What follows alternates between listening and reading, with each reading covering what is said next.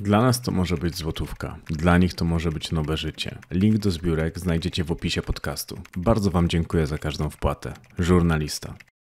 Dzień dobry. Zanim zacznie się nasza rozmowa, chciałem Wam podziękować, że tak licznie byliście ze mną przez cały 2023 rok, bo to dzięki Wam zostałem najczęściej odtwarzanym podcastem w Polsce na platformie Spotify. Bardzo, bardzo i to bardzo Wam dziękuję. Dzień dobry Państwu. Przypominam, że rozmowy żurnalisty są przeznaczone dla osób pełnoletnich ze względu na występującą w nich treść.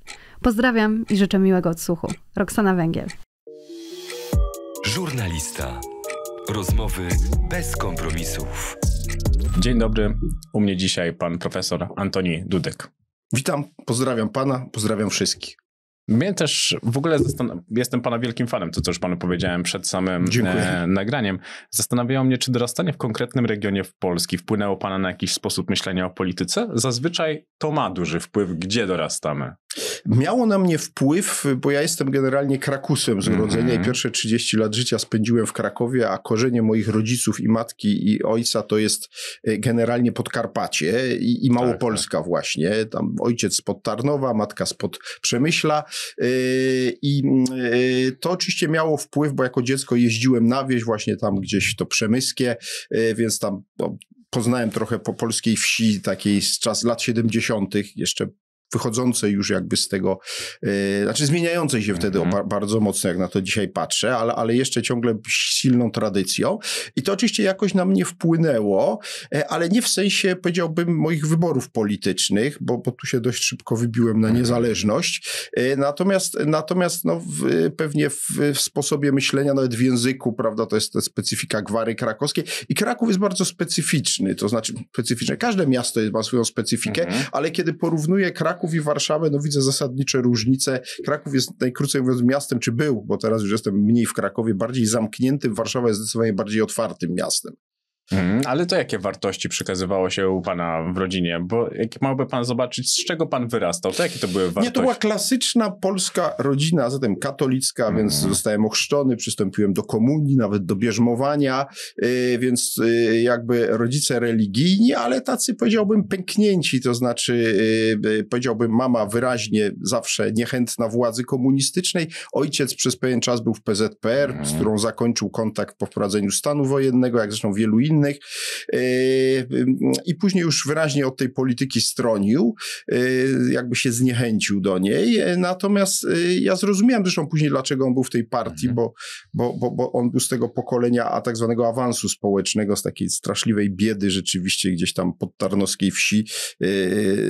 Tak naprawdę no, umożliwiono mu zdobycie średniego wykształcenia w miarę dobrej pracy i cały ten awans społeczny jakby miał poczucie zawdzięcza tamtej władzy. On był z tego pokolenia właśnie ludzi urodzonych na przełomie lat 20. i 30., jak nazywam, pokoleniem Zedem Poskim. Mhm. I to, to była najtwardsza grupa wspierająca władze komunistyczne.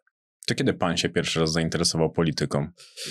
Oj, strasznie dawno. Pierwsze moje wspomnienie e, polityczne jest związane z 1976 rokiem. Ja mam 10 lat i jestem fanatycznym zwolennikiem czy fanem serialu, o właśnie było urobione mm. seriale Porucznik Colombo. To był mhm. absolutny przebój e, telewizji, jeśli chodzi o seriale kryminalne lat 70. Kto wie, o kim mm. mówię, o Peteru Folku, jego legendarnej roli porucznika Colombo, to wie, o czym mówię. Kto nie, to nie będę mu opowiadał, niech sobie gdzieś poszuka odcinków, zrozumie. Naszym specyfika tego, może nie, jednak wyjaśnię od razu. Czyli mm. urok tego filmu polega na tym, że widzimy, kto jest mordercą w pierwszych scenach tego filmu, natomiast nie wiemy, jak później porucznik Colombo tego naszego zbrodniarza dopadnie.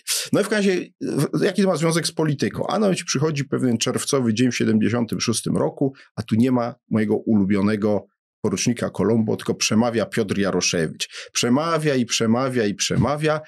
Co on tak długo przemawia? Ano uzasadnia podwyżkę cen w czerwcu 76 roku, która doprowadziła do buntu e, e, robotników e, przede wszystkim w Radomiu i która właściwie położyła się cieniem na epoce gierkowskiej była taka najważniejsza cezura i ja, ja, się wtedy zainteresowałem, o co w tym wszystkim chodziło, no bo później nazajutrz ten sam Jaroszewicz pojawił się po raz kolejny w telewizji, tym razem już bardzo krótko, powiedział, że podwyżek nie będzie e, i to było bardzo dla mnie interesujące, co to się stało, że najpierw gadał tak długo, że one muszą być, a później tak krótko, że ich nie będzie i to było chyba takie moje pierwsze poważne doświadczenie jako dziesięciolatka, a później, później już poszło. Ale jak poszło? Bo to, to jest akurat bardzo ciekawe. Ja uważam, bo wydaje mi się, że nie, nie znalazłem takiej żadnej informacji, jak pan rósł, jeżeli chodzi o to, to zainteresowanie i jak te, jak te nawet pana poglądy się zmieniały? No bo też po prostu dziesięcioletnie dziecko widzi coś innego, potem osiemnastoletni Nie, nie o, do 18 no, to tak, tak. gwałtowną ewolucję. Nie, no ja, ja, ja oczywiście poszedłem pod prąd całemu mojemu otoczeniu, czyli jak zaczęła się rewolucja Solidarności, to ja uznałem, że z tego nic nie będzie i y, zacząłem wspierać obóz władzy, co do mm. dziś jest tam przedmiotem różnych tak, no. zarzutów pod moim adresem.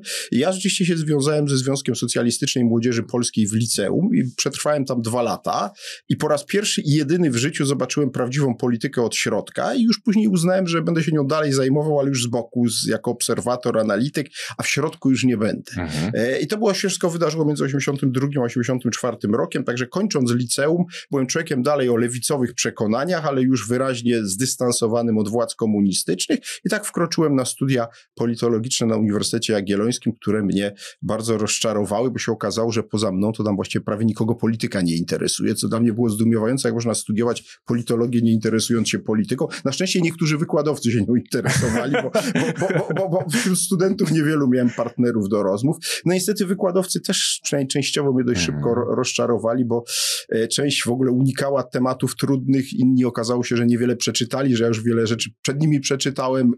No i, i mówiąc krótko, też byłem trochę rozczarowany, więc się zająłem e, pisaniem, no i zająłem się pracą nad, nad moją pierwszą książką. E, razem znalazłem sobie takiego kolegę, który miał podobne problemy, tylko na socjologii i napisaliśmy biografię Bolesława Piaseckiego. To była nasza pierwsza mhm. książka. Ta się ukazała, no trochę to trwało, bo on wyemigrował, zanim tam to yy, zajęło. No w każdym w roku 90, kiedy kończyłem studia, miałem już pierwszą książkę wydaną w Londynie przez wydawnictwo Annex. Fotele w podcaście żurnalisty zapewnia Jumisu. Mm, poważna historia. Czego się pan przestraszył, będąc tam?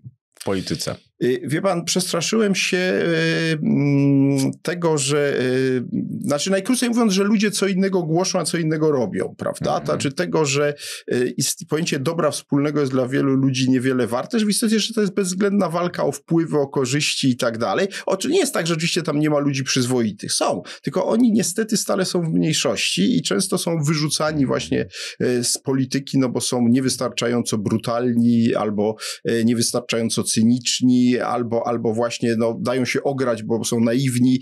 Y, to, to jest główny problem. Ale żeby była jasność, ja nie twierdzę, że, że tak zawsze jest i będzie. Y, ZSMP na początku lat 80. było specyficzną organizacją, skupiającą głównie mhm. dzieci ludzi z aparatu władzy. Y, ja się też dość szybko zorientowałem, że takich jak ja to właściwie tam nie ma, no bo ja nie byłem żadnym mhm. dzieckiem żadnego partyjnego notabla, e, a tam wszędzie mnie otaczali dzieci, córki, czy synowie i córki jakichś pułkowników, e, jakichś e, sekretarzy, jakichś dyrektorów, jakichś prezesów, że to, to, to, znaczy to, to nie jest towarzystwo dla mnie. No ale to nie miał pan takiego obrzydzenia, że właśnie, bo to też jest taki moment, w którym można porzucić w ogóle to zainteresowanie, że mogę się tym interesować, widzę, że to jest zupełnie sprzeczne z tym, co chciał pan robić jako, mhm. jako człowiek. Patrzy pan na towarzystwo, które jednak nie przystoi panu, widzi pan, że po prostu to, to nie jest jednak dla pana, to dlaczego jednak mimo wszystko idzie Już pan? panu odpowiem. Dlaczego? Bo ja wtedy zrozumiałem, że yy, czymkolwiek innym bym się nie zajął, to i tak na końcu się okaże, że to zależy od świata polityki. E, mhm. Polityka jest wszechogarniająca i nie sposób do niej, od niej uciec. To się niektórym wydaje, że oni uciekają, bo sobie jadą w Bieszczady, w chacie mieszkają i tak dalej. Oni tam mieszkają tak długo, bo im władza pozwala i są nieistotni dla władzy. Okej, okay, tak się można odczuć. Ale jeżeli oni próbują działać w jakimkolwiek obszarze, czy to jest kultura, mhm. czy to jest nauka, czy to jest biznes i zacznie im iść dobrze, czyli osiągną tam sukces, w którymś momencie polityka ich dopadnie.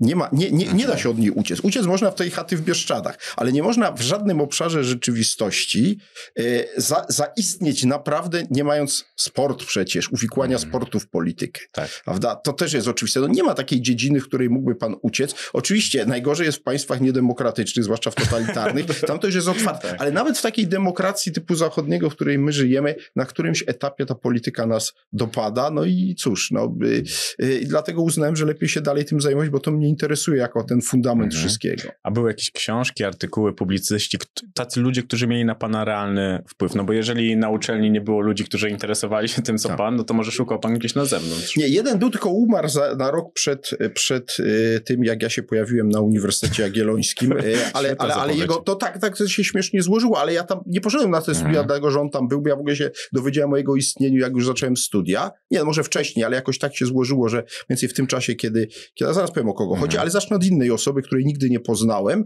a która mi pomogła jeszcze bardziej. Obaj to profesorowie, no jestem profesorem, mhm. więc profesorowie mieli na mnie największy wpływ. Pierwsza książka była książka, która mnie wy, wyleczyła z e, marksizmu kompletnie. I to były główne nurty marksizmu Leszka Kołakowskiego. Mhm. Taka gigantyczna, tysiącstronicowa, trzytomowa cegła, e, w której po prostu e, Kołakowski się rozprawił z marksizmem i różnymi jego odmianami, odłamami, jakby pokazując, że jest to taka sama ideologia i doktryna polityczna, jak dziesiątki innych z konserwatyzmem, liberalizmem na czele. I że tu nie ma niczego mhm. magicznego, nie jest to żadna nauka, jak Marx stwierdził, że on tu stworzył naukowy socjalizm, to tylko są dyrdy małe. I obok tego ten profesor, o którym mówię, który zmarł, to był Marek Sobolewski, profesor prawa i właśnie bardziej prawa konstytucyjnego, generalnie specjalista od partii politycznych, politolog na Uniwersytecie Jagiellońskim. On zmarł, jeśli dobrze pamiętam, w 1984 roku, ja zacząłem studia w 1985. On dość długo był związany z obozem władzy, ale też pod wpływem rewolucji Solidarności, może nawet wcześniej zerwał z, z, z reżimem i je, chyba jednym z jego ostatnim, jeśli nie ostatnim tekstem była taka, taki duży artykuł, który się zamienił w taką broszurkę wydaną w drugim obiegu, y, która mała tam, nie wiem, 90 stron, y, o granicach reformowalności systemu komunistycznego. Taki to nosiło tytuł. I on tam już przeniósł to, co pisał Kołakowski na takim bardzo teoretycznym poziomie, na realia polskie i strona po stronie wykazał, dlaczego ten system, w co ja do tego momentu miałem cień nadziei, że on jest reformowalny, że on jest absolutnie niereformowalny. I to mnie zupełnie przekonało do tego, że, że, że nie warto się bawić w żadne naprawiania tego systemu, bo po prostu się go naprawić nie da. On musi runąć albo będzie gnił przez resztę mojego życia.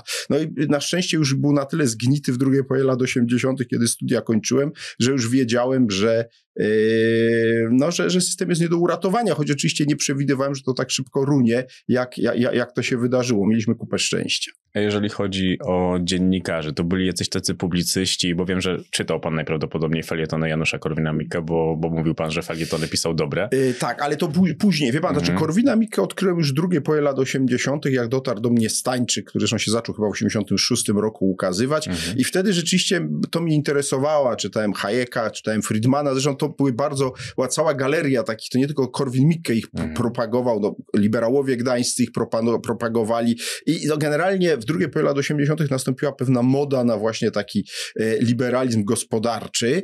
E, wcześniej byłem jeszcze związek, czy związałem się z czymś, co się nazywało o dziwo, wielu uważało to do dziś, za, do dziś uważa za kuriozalne, bo coś takiego w Krakowie jak klub chrześcijańsko-liberalny i to była, to inspiratorem tego był Mirosław Dzielski. To był taka mhm. specyficzna postać, zresztą zmarł w 80 który właśnie próbował rządzić liberalizm z chrześcijaństwem. Ja dziś na to patrzę sceptycznie. Natomiast jedno jest pewne, on był propagatorem właśnie e, liberalizmu gospodarczego od końca lat 70. E, on napisał taką bardzo, niektórzy uważali, pro, profetyczny tekst, list otwarty do porucznika Borewicza. Przypomnę, porucznik Borewicz, bohater o serialu mhm. kryminalnego 07 Zgłoś się z czasów PRL-u. Oczywiście postać fikcyjna, grana przez, przez yy, Cieślaka.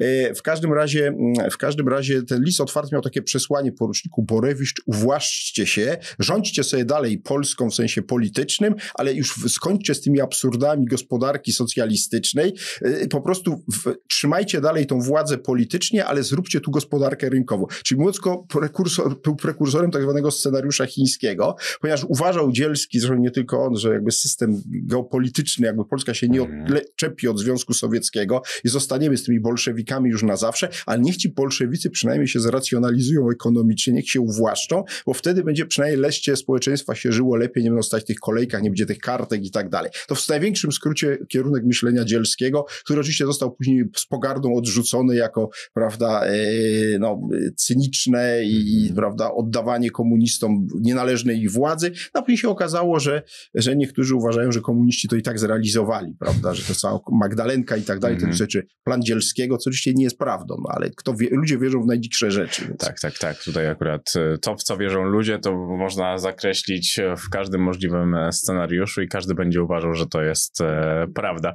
Ale to je, bo obserwował pan jako, jako młody chłopak też, jak się zmieniały media. Jak pan Tak. patrzy, który moment w mediach był najlepszy dla, dla obywateli? Kiedy jeszcze tak może bezczelnie nie potrafiliśmy wykorzystywać informacji, żeby ją manipulować i tak dalej? Kiedy uważa pan, że media w Polsce były najlepsze? Pan co moim zdaniem, powiem, zaskoczę pana, najlepsze media dopiero będą. Mhm. Dlaczego? Ja już panu powiem dlaczego. Dlatego, że nigdy nie było mediów y, niezależnych i zresztą ich nigdy nie będzie, Mhm, tylko ja uważam, że zbliża się epoka prawdziwego, naprawdę ogromnego pluralizmu medialnego.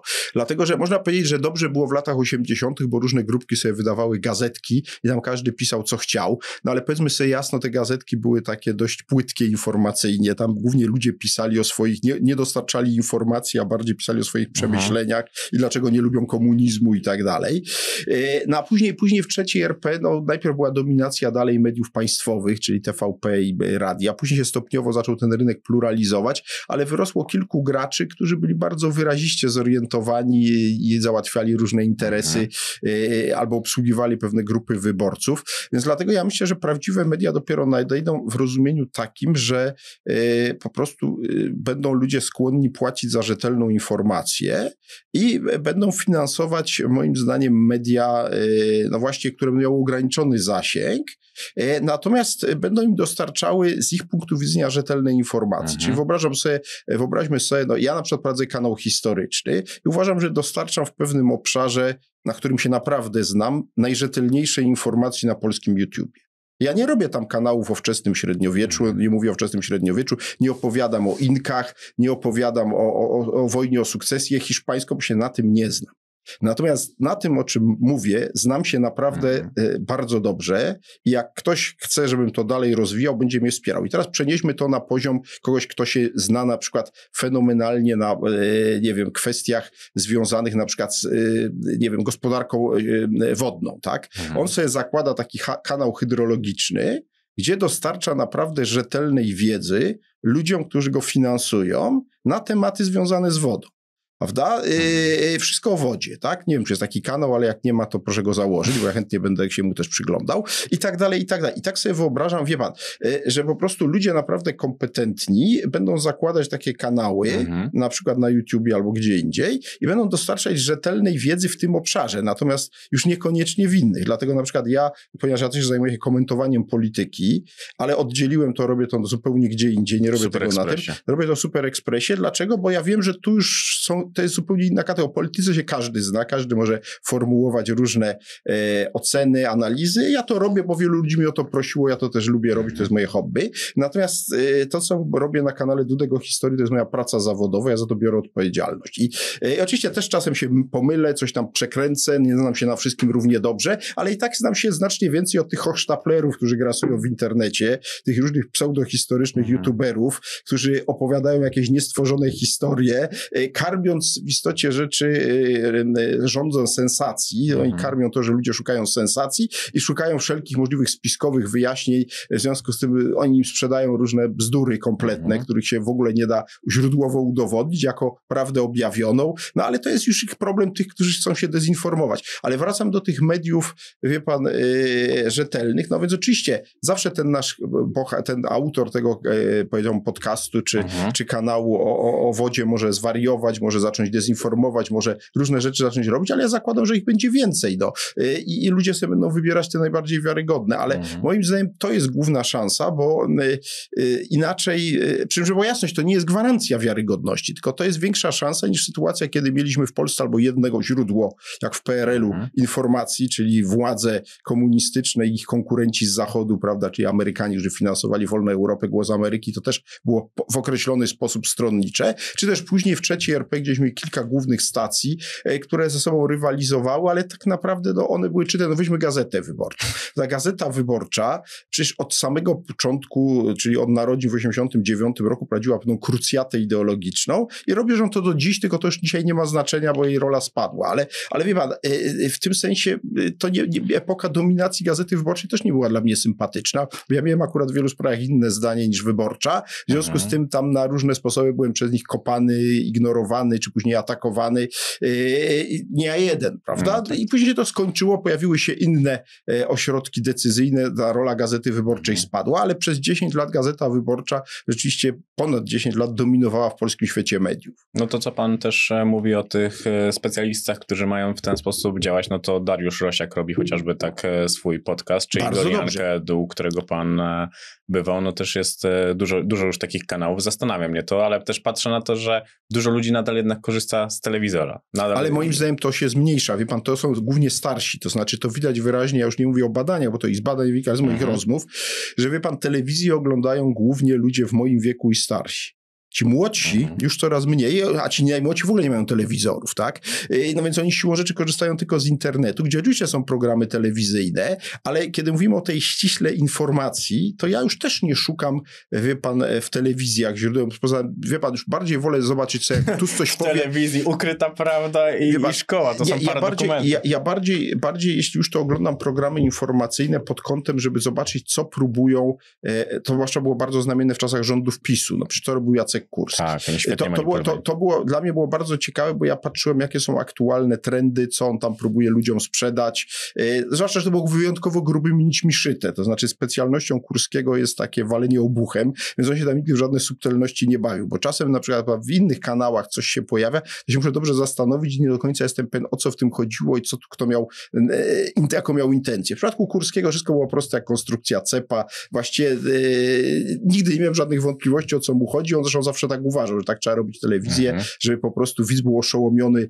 e, ostrością wypowiedzi po prostu. A jeszcze zahaczając ten wątek e, kanałów o historii, to które kanały e, historyczne sieją dezinformację? Nie będę wymieniał, bo nie chcę się z nimi procesować ani konfliktować, ale wystarczy porównać e, pewne programy u mnie i na ten sam temat u, u tych konkurentów mm -hmm. porównać i każdy sobie wyrobi pogląd. Okej, okay, czyli to można, można to śmiało znaleźć. Bo to, bo to ciekawe, bo ja czasami oglądam i teraz pytanie jest takie, czy nie karmię się dezinformacją po prostu wynikającą z niewiedzy. No to, wie pan, to już nic bo ja na to nie łat, łat, łat, łatwy w takim wypadku do złowienia. A są dzisiaj dziennikarze, z których zdaniem pan się naprawdę liczy i ważne jest to, co oni sądzą? Dla pana? Wie pan, y, w tej chwili już coraz mniej, ale, ale, ale zdarza mi się na przykład cenię publicystykę, nie wiem, Piotra Zaręby, mhm. Rafała Kalukina, y, takich powiedziałbym właśnie bardziej centrowych mhm. publicystów. To bo ja mam centrowe poglądy polityczne, więc ci centrowi. Nie lubię natomiast tak zwanych dziennikarzy tożsamościowych. Jest tu grupa, no kiedyś powiem, biegunowo wymieniłem w mojej książce przed laty Tomasza Lisa i braci Karnowskich. Mm -hmm. I, to, I to zasadniczo się nie zmieniło. Znaczy oni nie, ja nie muszę ich czytać, ja z góry wiem w jakiej sprawie, co oni powiedzą. Po prostu. I, i ja nawet sobie robiłem czasem żarty i taką zgadywankę, to znaczy jak się pojawił jakiś temat, to sobie układałem, co on za chwilę powie i to się w 90% e, układało. Znaczy jakby, bo wie pan, ja, ja, ja to już też przerabiałem, e, powiedziałbym, to jest taka zabawa, a gdybyś ty był rzecznikiem PiSu, to co byś powiedział? A gdybyś był rzecznikiem Platformy, jak, ja, ja, tego się można nauczyć, to byś powiedział to i to i to, no i właśnie później ja wkładam mi w usta te, te, te słowa i oni to rzeczywiście powiedzą. No bo tutaj ilość możliwości, które mo można powiedzieć jest skończona, prawda? Mhm. Znaczy, zwłaszcza, że to musi być zgodne z linią partii, no więc, więc yy, bracia Karnowscy nie mogą zbyt dużą inwencją się wykazywać, muszą się trzymać jednej linii partii. Tak, no i tak samo Tomasz. E, Tomasz Lis oczywiście nie jest już tak jednoznacznie z Platformy, chciałbym też utożsamiać, tylko Tomasz Lis by powiedział, był przewidywalny na poziomie na przykład emocji antypisowskiej. Znaczy, je, je, jeśli jest jakieś wydarzenie, jak można najmocniej skrytykować PiS, to Tomasz Lis na pewno to zrobi. A są inni dziennikarze, których można szeroko kojarzyć i pana zawiedliło. O Tomaszu Lisie właśnie pan tak powiedział, że kompletnie pana zawiódł jako dziennikarz. Tak, tak. Zawiódł mnie, no bo on kiedyś miał zadatki na fenomenalnego dziennikarza, -hmm. no a później niestety skala jego stronniczości przerosła. Wie pan, yy, pewnie inni też mnie zawiedli, ale chyba nie, nie tak spektakularnie jak, jak właśnie Tomasz Lis.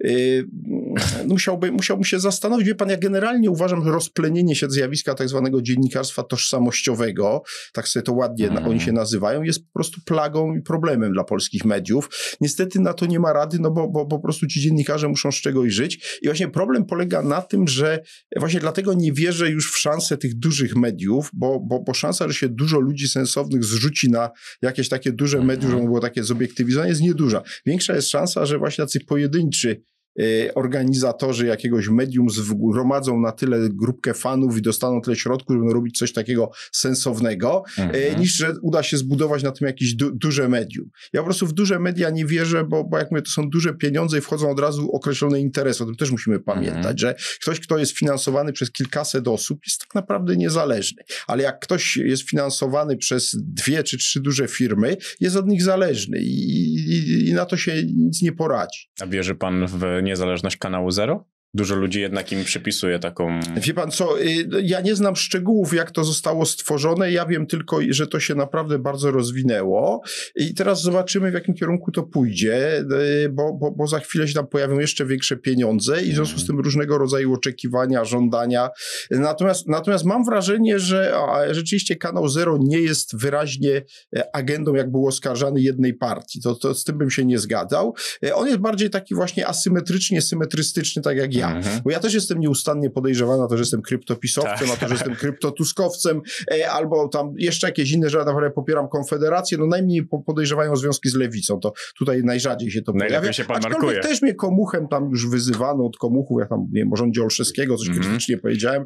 E, Więc wie pan, to wszystko jest, ale to, to wiesz, nie ma się tym co przejmować, no po prostu już tak jest, że, że, że w Polsce agresja jest częścią przestrzeni publicznej, różne oskarżenia, mniej czy bardziej absurdalne padają. Tu się w ogóle nie ma co przejmować. Natomiast kanał Zero jest dla mnie bardzo ciekawy, bo ja uważam, że to jest w ogóle być może właśnie w tym kierunku pójdą media informacyjne. Że w miejscu po kanale Zero powstaną jeszcze kolejne. Znaczy, wydaje mi się, że po prostu powoli kończą się, bo są za drogie te telewizje informacyjne, bo to jest bardzo drogie. Znaczy, Tak. to jest najdroższy rodzaj telewizji, a zarazem wydaje się, że y, oglądalność im spada, więc w którymś momencie ich decydenci powiedzą koniec. I wtedy powstaną takie kanały Zero uzupełnione o sieć korespondentów terenowych. Wyobraźmy sobie, ja kanał Zero tak mówiąc że średnio śledzę, Mhm. ale zdaje się, że tam jeszcze nie ma tego, co ja bym na ich miejscu to za darmo im daję lekcje ewentualnie, czy lekcje, rady Mhm. udzielam, a mianowicie oni powinni uruchomić sieć terenowych e, współpracowników, którzy by im przygotowywali takie materiały regionalne, e, no właśnie w oparciu o to, co się dzieje w Polsce, żeby mieli taką sieć informacyjną, powiedzmy, oni by te materiały, żeby im tam za to płacili, prawda, i na swoim kanale zamieszczali, żeby mieć nie tylko tych polityków w Warszawie, których tam Mazurek odpytuje, tylko żeby mieć na przykład lokalne e, programy, bo ludzi to też interesuje, prawda? Mhm. E, I to jest to, co próbują też te wielkie telewizje robić, prawda? Mają sieć stacji korespondentów i tak dalej, tylko że to w przypadku tych dużych telewizji jest moim zdaniem za drogie. Natomiast w takim kanale Zero da się to robić po prostu znacznie mniejszymi kosztami, a powiedzmy sobie jasno, telewizje informacyjne to w istocie czy są przede wszystkim gadające głowy, ewentualnie właśnie, że ktoś coś sfilmuje na miejscu, tak? Coś wybuchło albo coś się wydarzyło, gdzieś tam taki korespondent jedzie, filmuje i pokazuje. To się do tego sprowadza. Więc do tego nie jest potrzebna ten ogromny aparat, który, który, który ja widzę, jak mi się zdarza odwiedzać te, te główne stacje informacyjne, e, bo po prostu to, to jest strasznie drogie. No ale tutaj znowu wchodzi w grę polityka YouTube'a, więc pewnych tematów poniekąd nie można nagłaśniać. YouTube od razu ucina monetyzację, bardzo mocno kładzie nacisk na licencję. Ciężko jest wyegzekwować, powiedzmy tak, szybko licencję, że, że ewentualnie coś się dzieje i żeby była monetyzacja tych wszystkich e, materiałów. YouTube, jeżeli nie monetyzuje materiału, od razu ucina zasięgi. Tutaj znowu jest ten problem Dlatego tego myślę pośrednika. że, myślę, że już niedługo pojawią się poważni konkurenci dla YouTube'a. Bo jego dominacja jest niepokojąca i myślę, że powoli będą inni i będą inne platformy. Ja myślę, że to nie jest tak, że, że, że, że, że to wszystko będzie się w oparciu o YouTube'a rozwijało, bo iluś ludzi na pewnym etapie dostrzeże i zacznie się tak powoli przenosić gdzieś na inne miejsca. Czyli nie, nie będzie się z YouTube'a wycofywać Mhm. zupełnie, tylko będzie szukać moim zdaniem jeszcze, y, tak, tak bym, ja bym tak grał, gdybym Mhm. był poważniejszym graczem, bo, bo mnie to mówiąc szczerze, ja, ja nie mam większych ambicji. Znaczy, mnie w zupełności wystarczy to, co mi się udało stworzyć i No, ale pana e, kanał jest naprawdę duży. znaczy, wie pan, duży w sensie, to zależy z czym go porównamy i, i, i w sensie oferty, jaką on ma, no, Mhm. to wszystko, wszystko jest kwestią względną, porównawczą. Natomiast moim zdaniem to się będzie rozwijało także w innej formie, na innych platformach niż YouTube. Mhm. A wierzy pan jeszcze w tygodnika? Teraz jesteśmy świeżo po odejściu Tom, Tomka Sekielskiego z Newsweeka. Yy, Wie pan co, do tygodniki, ja i tak bardziej wierzę w tygodniki niż w dzienniki. To dzienniki um, umrą jako pierwsze, one już właściwie umierają, zwłaszcza te w wersji papierowej. Yy, Wprawdzie nie, zdania są podzielone, bo ostatnio rozmawiałem z dwoma naczelnymi dwóch różnych gazet papierowych. Jeden mnie przekonywał, że to już jest kwestia nieodległa, że po prostu koszty transportu prasy papierowej będą na tyle duże, już są na tyle duże, że to się właściwie przestanie za moment opłacać. Natomiast drugi mnie przekonywał, że to jeszcze dłużej potrwa, bo jednak no, jest pewna grupa grupa ludzi, którym przy okazji dostarczania codziennie pieczywa można też i do, do, dostarczyć do, do tych punktów kolportażu gazetę, e, więc nie wiem, jak jest naprawdę to rynek zweryfikuje, natomiast wiem, że upadek gazet codziennych jest nieuchronny, ponieważ one niestety dostarczają informacji po pewnym czasie. Natomiast już tygodnikami tak być nie musi, bo tygodniki z założenia nie są informacyjne, tylko są analityczne. Jeżeli jest tygodnik wyprofilowany, ma określoną grupę odbiorców, którzy chcą właśnie na papierze sobie poczytać o określonym obszarze rzeczywistości, to to się będzie sprzedawało. Tylko, że oczywiście pewnie wielu już będzie, czy jakaś część będzie czytała, e, czytała w internecie i to jest zresztą w ogóle kwestia e, także i książek, prawda? E-booki czy, czy książki tradycyjne. Na razie ciągle książki tradycyjne, to wiem przynajmniej z mojego odcinka, się lepiej mhm. sprzedają od, od e-booków. Ciągle e-booki są w mniejszości. Może są jakieś wyjątki, ale w tym obszarze, w którym ja mam do czynienia, to jest jak jeden do kilku. To znaczy, y, y, jeśli mhm. mamy ten sam tytuł, on się kilkakrotnie więcej sprzedaje w wersji papierowej niż w wersji e-booków. No, wydaje mi się, że zagrożeniem realnym to są, znaczy może zagrożeniem, rozwinięciem tej branży są audiobooki, bo wydaje mi się, że ja na przykład y, jak korzystam i jesteś w audiobooku, to słucham. Tak, audiobooki to jest też przyszłość, choć nie potrafię zweryfikować jak duża. Mi się do niedawna wydawało, że audiobook to jest wyłącznie beletrystyka, literatura piękna. Mhm. W tej chwili, ponieważ sam nagrałem audiobooka mojej historii politycznej 89-2023, zresztą było ciekawym doświadczeniem nagranie, bo to jest oczywiście kilkadziesiąt godzin nagrania, to naprawdę jest duży wysiłek. E, I teraz jestem ciekaw, jak to będzie się rozchodziło, bo to właśnie się rozchodzi, ale na razie nie mam wyników, więc nie potrafię ocenić, jak, jak, jak, jaka jest skala tego. E, natomiast, natomiast to już jest literatura faktu, tak? No. Oczywiście moja książka nie jest pierwszą literaturą faktu, bo to się pojawia, ale za chwilę jest pytanie o podręczniki. E, bo ja już słyszę od niektórych młodych ludzi, że oni by w ogóle woleli, żeby mieć podręczniki w formie audio. I tego na razie chyba jeszcze za wiele nie ma, ale być może właśnie jesteśmy w przededniu tego, że się podręczniki też w wersji audio pojawią i zobaczymy. I ja myślę, że finalnie będziemy mieli po prostu, tylko nie wiem, jakie będą proporcje ludzi, którzy będą, jedni będą czytać na papierze dalej i tylko papier, bo oni sobie muszą podkreślić, zakreślić, inni będą chcieli tylko na e-booku, bo sobie mogą powiększyć, mhm. pomniejszyć, a jeszcze chcą tylko audiobooka, bo sobie mogą powtórzyć ileś razy e, ta, ta, tą samą wypowiedź. Bo ja mam wrażenie, że mamy różne, e, e, w różnej formie percepcja się nam mhm. dokonuje. Nie, nie, ludzie są różni, różne osoby w różnej formie chcą tą informację zdobywać. W związku z tym nie będzie, natomiast nie potrafię powiedzieć, czy to będą, pewnie to nie będą trzy równe grupy, ale myślę, że przekaz informacji będzie się w tej trzech formie, tej tradycyjnej, mhm. książkowej, elektronicznej i właśnie w formie dźwiękowej dokonywał też jedna z aplikacji audiobookowych na pewno zrobiła już taką możliwość, że jeżeli słucha się książki, można z automatu przejść na tekst i można zakreślać te rzeczy. To jest akurat e, świetna. Takie hybrydy na pewno tak, też tak, będą. Tak, tak, tak też tak Uważam, że to, to, to, też po prostu e, zmienia, zmienia naprawdę całą, całą grę, bo ja wiem, jak słucham sobie rzeczy zazwyczaj na spacerach z psami, to jestem w stanie po prostu zatrzymać coś, wyegzekwować do, powiedzmy, do tekstu, zaznaczyć to i zapisuje się to automatycznie e, w notatkach na telefonie. To jest bardzo, bardzo ciekawa rzecz. W podcaście Kuby Wojewódzkiego powiedział pan, że mamy w Polsce ludzi, którzy świetnie sobie radzą. Niezależnie jaka, jaka władza rządzi. Mówił pan tutaj o właścicielu m.in. telewizji Polsat, dodając, że on zawsze wygrywa. To elastyczność, dwulicowość czy biznes ponad wszystko?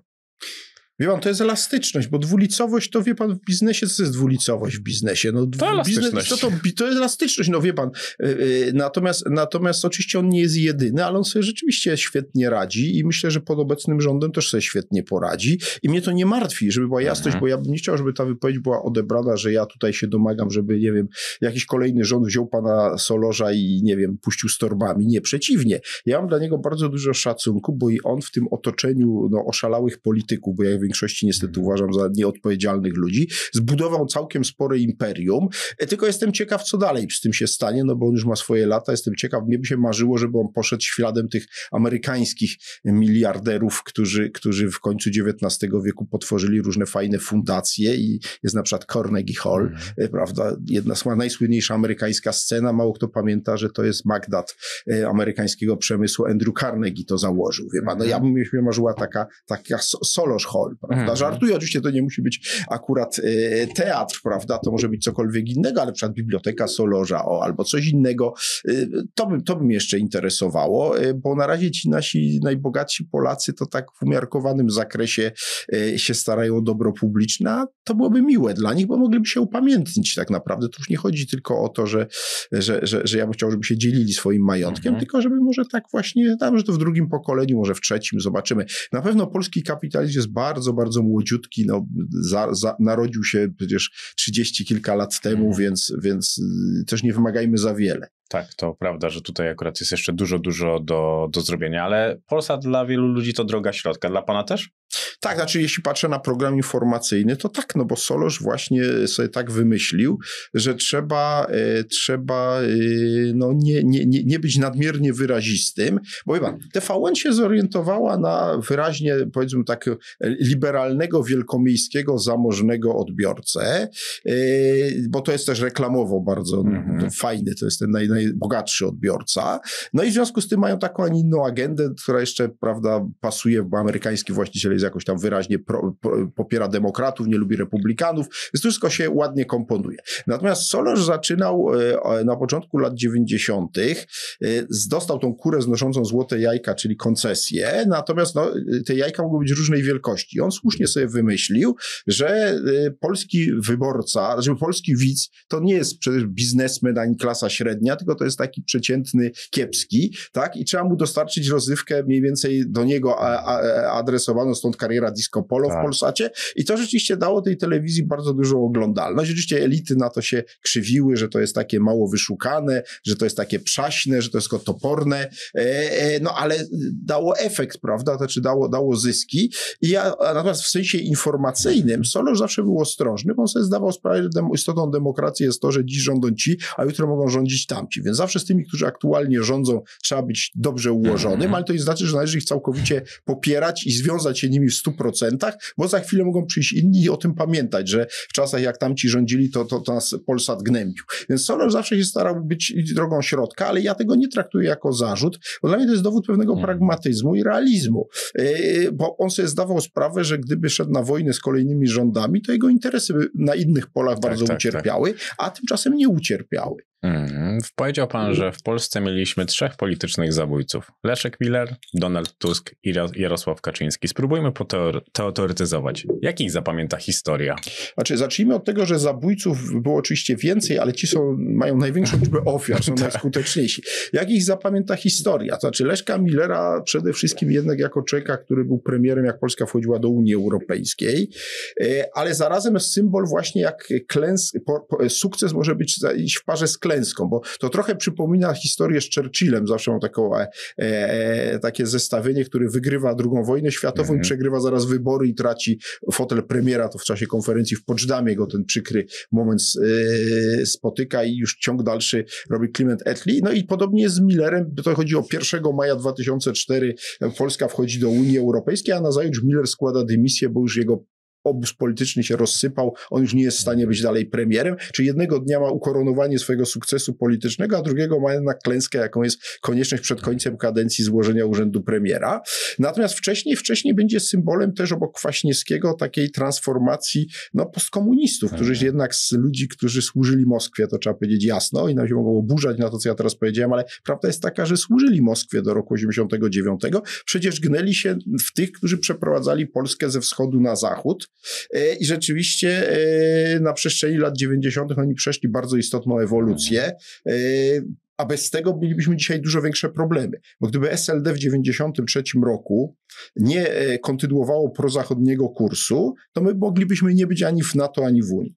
I mówię to z pełną hmm. odpowiedzialnością. A zapewniamy to takim ludziom jak Miller, jak Kwaśniewski, jak nieżyjący Józef Oleksy i kilku innych, którzy można powiedzieć trochę, można powiedzieć, może siłą to za dużo powiedziane, ale e, e, z różnymi sposobami, często nie zawsze pięknymi, przeciągnęli ten establishment postkomunistyczny, który wcale tak do tego NATO się nie pchał, a do Unii Europejskiej też miał różne wątpliwości, przeciągnęli go na tą stronę. Więc w tym sensie Miller jest dla mnie symbolem człowieka, który no, e, zaczynał karierę niezbyt ładnie, ale kończył ją zdecydowanie z mojego punktu widzenia bardziej pozytywnie. To jak dalej? Jak zapamięta Jarosława Kaczyńskiego? Wie pan, z Kaczyńskim jest większy problem, bo Kaczyński jeszcze ostatniego słowa nie powiedział. W Mhm. przeciwieństwie do Millera, Miller już ogłosił, że przechodzi na emeryturę i już nie będzie. Zresztą prawda jest taka, że on od tego 2004 roku już istotniejszej roli nie odgrywał. Oczywiście wrócił, był przez moment znowu szefem, szefem SLD, ale to już było inne SLD, upadłe. już On już było. dogorywał. Natomiast Kaczyński jest ciągle jednym z głównych graczy i powiem tak, no na razie to jest człowiek, który odcisnął największe piętno na dziejach trzeciej RP, bo z krótkim wyjątkiem przełomu lat 90. i początku lat 2000, kiedy został zepchnięty na margines, to przede wszystkim chodzi o drugą połowę lat 90., to wyjąc- wymy- wy, wyłączając ten krótki okres, jest tym, który właściwie cały czas nadawał ton polskiej polityce. To znaczy nieustannie jego, e, wszyscy się spierali wokół różnych spraw, które on wrzucał e, i, i to mu się ciągle udaje. I, I to jest absolutny fenomen. Więc w tym sensie to jest człowiek, który, e, który, który nadawał ton polskiej polityce. Natomiast ja mam do niego krytyczny stosunek. E, Krytyczny dlaczego? Dlatego, że ten ton, jaki nadawał, był moim zdaniem na samym początku, kiedy Kaczyński zaczynał swoją karierę, e, moim zdaniem był trafną diagnozą. Ja wtedy nie kryję, że miałem do niego bardzo dużo sympatii. Mówię tu o epoce porozumienia centrum, kiedy on uważał, że postkomunizm jest problemem numer jeden w Polsce. Ja się z nim całkowicie zgadzałem. No, może nie całkowicie, ale w większości z tą diagnozą. Natomiast później już w latach 2000, kiedy on w kółko powtarzał tą diagnozę, ją do dziś powtarza, ona tak. się robiła coraz w moich oczach bardziej anachroniczna. On też on sobie zdawał sprawę, że to jest coraz bardziej coś nie tak i wymyślił kategorię późnego postkomunizmu i obsadził w tej roli po 2005 roku Platformę Obywatelską, czego ja już kompletnie nie kupuję, bo to jest trochę tak, jak ja bym sobie wymyślił, no, że, że e, nie lubię, prawda, e, nie wiem, e, koloru czerwonego i wszędzie bym tropił kolor czerwony, nawet już nie jest czerwony, to mówię, nie, bo jak zeskrobiemy tą farbę, to tam znajdziemy dalej czerwony. No to jest niepoważne. No. Albo coś jest postkomunizmem, albo nim nie jest. No Platforma Obywatelska nie jest w żadnej mierze partią ani postkomunistyczną, ani późnego postkomunizmu. Tak jak, nie wiem, y, y, no, y, no, trzeba, trzeba zachować pe, pe, pewien, pewien Mhm. umiar po prostu w tym. A teraz Kaczyński uznał, że nie musi tego robić, że skoro tylu ludzi się łapie na tą legendę walki z późnym postkomunizmem, to można to robić. E, Nie kryję, że zawsze byłem też sceptyczny co do, co do obsesji antyniemieckiej Kaczyńskiego, bo tak jak u niego się pogłębiała, to u mnie słabła. Bo ja też na początku uważałem, że Niemcy mogą pójść w różnym kierunku i rzeczywiście e, jak patrzyłem na politykę Kola, to mnie się tam wiele rzeczy nie Mhm. podobało, ale później miałem wrażenie, że Niemcy stopniowo zrozumieli, że e, nie mogą tej swojej przewagi przekładać na właśnie taki dyktat, jaki rzekomo uprawiają zdaniem PiSu w Unii Europejskiej. E, I mam wrażenie, że a koronnym dowodem na to, że Niemcy przeszli jednak pewną transformację, była ta ich zmiana polityczna, jaka nastąpiła po 22 roku. e, Której Pister udaje, że jej nie ma, ona jest ogromna. Mhm. E, Ta zmiana oczywiście dotyczy polityki wobec Rosji, bo, bo to było coś, co mi się najbardziej nie podobało i co zawsze zresztą budziło we mnie e, największy niepokój, czyli oś Moskwa-Berlin. I ta oś, która się gdzieś tam rysowała do 2022 roku, została przez Berlin zerwana ewidentnie. To widać bardzo Mhm. wyraźnie, czego Kaczyński udaje, że nie widzi. Bo jest mu to niewygodne, bo wtedy cała jego konstrukcja tego, tego paktu niemiecko-rosyjskiego, której oczywiście agentem jest tutaj Put- Mhm. e, Tusk, e, się sypie, więc on nie może z tego zrezygnować. Natomiast ja sobie patrzę na to z boku, więc ja mogę widzieć, co się realnie dzieje i widzę, że Niemcy nie ogłosili bo ja ciągle y, wszystkim, którzy mówią, że Niemcy za mało pomagają Ukrainie, chcę powiedzieć jedną oczywistą rzecz. Y, Mianowicie, że Niemcy mogli w 2022 roku powiedzieć, że to nie jest w ogóle ich problem. To jest wojna dwóch krajów, którymi y, Niemcy nie mają żadnych zobowiązań, bo nie jest Ukraina ani w Unii Europejskiej, ani w NATO. W związku z tym my robimy dalej interesy z Rosją. Ukraińcom współczujemy, wyślemy im wagon, y, nie wiem, tam bandaży albo, albo y, prosz, mleka w proszku i koniec z przyczyn humanitarnych, a ta wojna w ogóle nie jest naszą wojną. Więc Niemcy jednak tutaj przeszli bardzo istotną ewolucję, zerwali te, te kontrakty energetyczne na czele z Nord Stream z Rosją i to jest pewien fakt, którego u nas nie można ignorować. Y, A nie mówić tylko, a myśmy mieli rację, a Niemcy się pomylili. Tak, oni się pomylili i przyznali to. I oni to przyznali, tylko to nie oznacza, że oni nam przyznają rację we wszystkich innych sprawach. No to jest naiwne myślenie. No ale też chyba wydaje mi się, że w tej dużej polityce przyznanie się do błędu jest błędem. I tak i nie. No to, To zależy kiedy, wie pan, y, nie, bo znaczy ja uważam, że y, czasem przyznanie, oczywiście jak się ktoś stale przyznaje do błędu, idzie od błędu do błędu, to okej. Natomiast czasem przyznanie się do błędu, moim zdaniem, może być sukcesem, e, jeśli, jeśli to nastąpi w określonym kontekście i moim zdaniem na przykład w przypadku Niemiec to jest sukces. Ja uważam, że oni nie mają powodu, żeby się wstydzić, że oni zrobili błąd, że się przyznali do ale tego błędu. gdyby Jarosław Kaczyński powiedział, że nie miał racji, Nie, ale oczywiście to jest co innego, bo Jarosław Kaczyński już stworzył rodzaj sekty politycznej. Dokładnie. Natomiast proszę zwrócić uwagę, że on dokonał takiego zwrotu na przykład w sprawie Ukrainy. Już widzieliśmy, muszę powiedzieć, że dla mnie to było zdumiewające gwałtowność tego zwrotu. Mówię o tym zwrocie, który miał miejsce latem ubiegłego roku, Mhm. kiedy Kaczyński się zorientował, że e, otwarcie granic na ukraińską żywność może zagrozić poparciu e, rolników dla PiSu. I że ta grupa się zaczyna buntować, zaczęły się te bunty rolników. I on nagle na- nakazał zwrot o 180 stopni. I nagle wszyscy w PiSie zaczęli mówić, że tak, że już Ukraińcom nie damy, nie będziemy. Najpierw wszystko było dla Ukrainy, później już Ale nic nie miało być dla Ukrainy. świetnie wykorzystuje badania. Przecież tam były już takie badania, że Polacy są już w ogóle zmęczeni pomaganiu e, Ukraińcom i ten zwrot nastąpił tylko i wyłącznie z tego, że oni żyją liczbami, oni żyją badaniami. Wie pan, yy, oczywiście tak, to, to jest zgoda. I o to mam zresztą do niego największą pretensję, bo ja uważam, że to, że dzisiaj polityka, może coś Donald Hmm. Tusk też analizuje wyniki badań, też się nimi kieruje, tylko to jest to zasadnicze pytanie, czemu ma służyć polityka. Bo są tutaj dwie zasadnicze szkoły. Jedna to jest ta dominująca, mianowicie ona ma służyć temu, żebyśmy my i nasi ludzie jak najdłużej byli przy władzy. W związku z tym patrzymy w te wyniki badań i robimy Mhm. wszystko, żebyśmy następnych wyborów nie przegrali.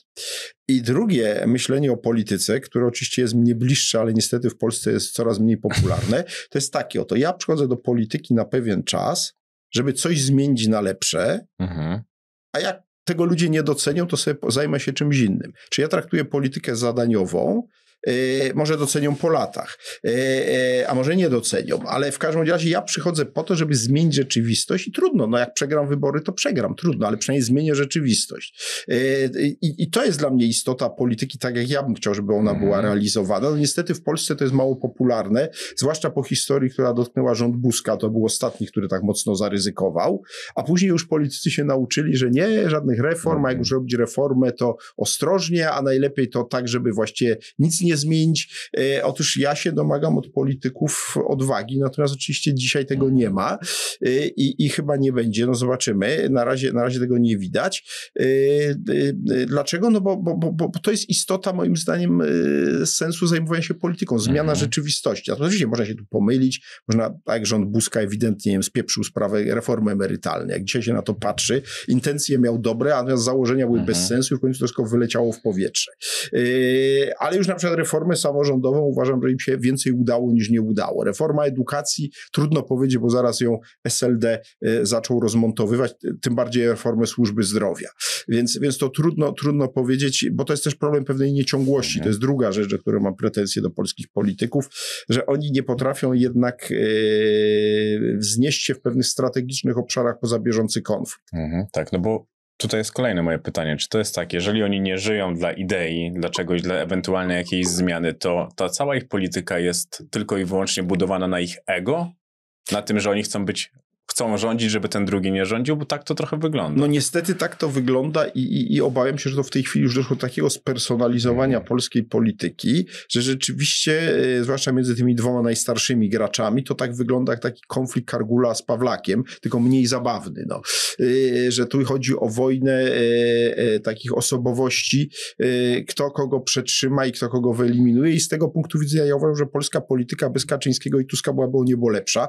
Czy, żeby była jasność, nie byłaby idealna, bo to nie jest tak, że ci wszyscy inni Natomiast nie wydaje mi się, żeby na przykład Trzaskowski z Morawieckim byli w stanie e, równie mocno e, demolować polską scenę e, polityczną. Myślę, że oni by zrozumieli, że choćby w tej sytuacji geopolitycznej, którą mamy, trzeba pewne obszary wyłączyć, ponaprawiać i Mhm. pójść do przodu.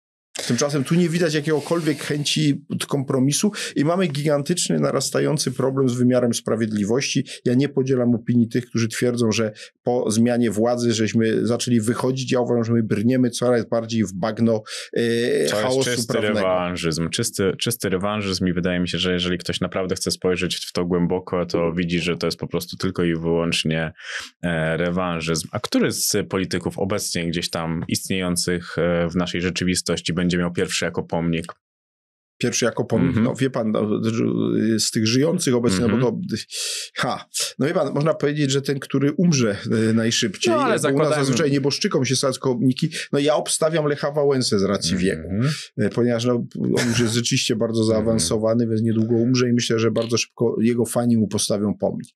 Dobrze, a jak powiesz, że Kaczyński, Tusk będą mieli pomniki w Polsce? Będą mieli, oczywiście, będą mieli ulice, place, ale to jest dla mnie oczywiste, tak jak ja to wielokrotnie już mówiłem, tak jak jest w przypadku y, II Rzeczpospolitej, tu rozmawiamy mm. nie tak daleko, jesteśmy w Śródmieściu Warszawy, jest ten ulubiony taki przykład, ja już wielokrotnie mówiłem, powtórzę, trakt królewski tak zwany, zaczynamy z Placu Trzech Krzyży, tam jest pomnik Wincentego Witosa, idziemy sobie alejami ujazdowskimi w stronę Łazienek i tu mamy plac na rozdrożu, największe nagromadzenie, mamy tam Korfantego, mamy Dmowskiego, mamy mm. Daszyńskiego, idziemy jeszcze kilkaset metrów, dochodzimy do Belwederu, mamy Piłsudskiego. No i powiadam, gdyby ktoś w latach 30. powiedział, że tak będzie wyglądać centrum Warszawy za kilkadziesiąt lat, uznano go za wariata. E, więc, więc, więc ja sobie mogę doskonale wyobrazić w innej części że Warszawy dalej. pomniki, ulice tych postaci. To może niekoniecznie wszyscy będą mieli w pobliżu siebie pomniki, to będzie na przykład pomnik, a ulica, plac, a, a, a jakaś, jakiś urząd, ale generalnie to są wszystko postacie, które za kilka dekad będą postaciami historycznymi to będzie świetna karma, jak postawili jednego obok drugiego, że musieli na siebie nawet jako pomniki No e, wie pan, przy placu na rozdrożu tak jest. Wprawdzie ci dwaj najwięksi adwersarze, Piłsudski i Dmowski na siebie nie patrzy, ale wie pan, tam Dmowski kątem oka widzi Daszyńskiego, widzi Korfantego, Korfanty widzi tych dwóch. Oni się tak średnio lubili w no, Nowej Rzeczpospolitej. Zdaję sobie z tego sprawę. Jak już pan powiedział o, o Morawieckim i o Trzaskowskim, to nie ma pan wrażenia, że to jest tak, że Trzaskowski każdą swoją walkę przegrał i z Morawieckim też był, przegrał i miałby hat No z Dudą nie stanął do szlanek, z Tuskiem nie, nie stanął do szlanek, to z Morawieckim miałby wygrać? Wie pan co, tylko że jeśli mówimy o starciu w przyszłorocznych wyborach prezydenckich, mhm. to mimo wszystko za e, Trzaskowskim będzie demografia. Znaczy przeciwko, yy, przeciwko Morawieckiemu będzie demografia, a Trzaskowskiego demografia mhm. będzie wspierać, bo jeśli w drugiej turze miałby się spotkać Trzaskowski z Morawieckim, to większość młodych wyborców jednak będzie, pewnie nie wszyscy z entuzjazmem, niektórzy nawet z zaciśniętymi mhm. zębami, inni z zatkanym nosem, ale zagłosują na Trzaskowskiego przeciwko Morawieckiemu. E, a tych starszych wyborców ubywa, którzy, którzy są fundamentem PiSu. I na tym polega, polega mhm. PiSu, e, że z każdym rokiem im ubywa wyborców. A najgorzej to się taka właśnie e, sytuacja dzieje w drugiej turze wyborów prezydenckich. Mhm. To już jest wybór zero-jedynkowy, już nie ma gdzie uciekać i wtedy moim zdaniem Trzaskowski ma większe szanse, co oczywiście nie znaczy, że wygra, bo wybory prezydenckie są najbardziej nieprzewidywalne. Wiemy to z 2015, to jest ten ostatni taki klasyczny przykład, że trzy miesiące czy cztery miesiące przed datą wyborów Bronisław Komorowski był faworytem absolutnym. Na dziś jest takim dla mnie Trzaskowski, nie Morawiecki, który jeszcze nawet nie dostał nominacji PiSu i być może w ogóle jej nie dostanie, dlatego że moim zdaniem akcje Morawieckiego w PiSie od nieszczęsnej wypowiedzi, kiedy popełnił najwięcej. Ludzi mogę zrozumieć, jak tak doświadczony polityk mógł zrobić ten błąd, czyli ta słynna wypowiedź, że oczywiście on życzy prezesowi dużo zdrowia, ale gdyby już prezes poszedł na emeryturę, to on się tu zgłasza na lidera PiSu, a po drodze, ponieważ no nie wiadomo kiedy to nastąpi, to on chętnie wystartuje w wyborach prezydenckich.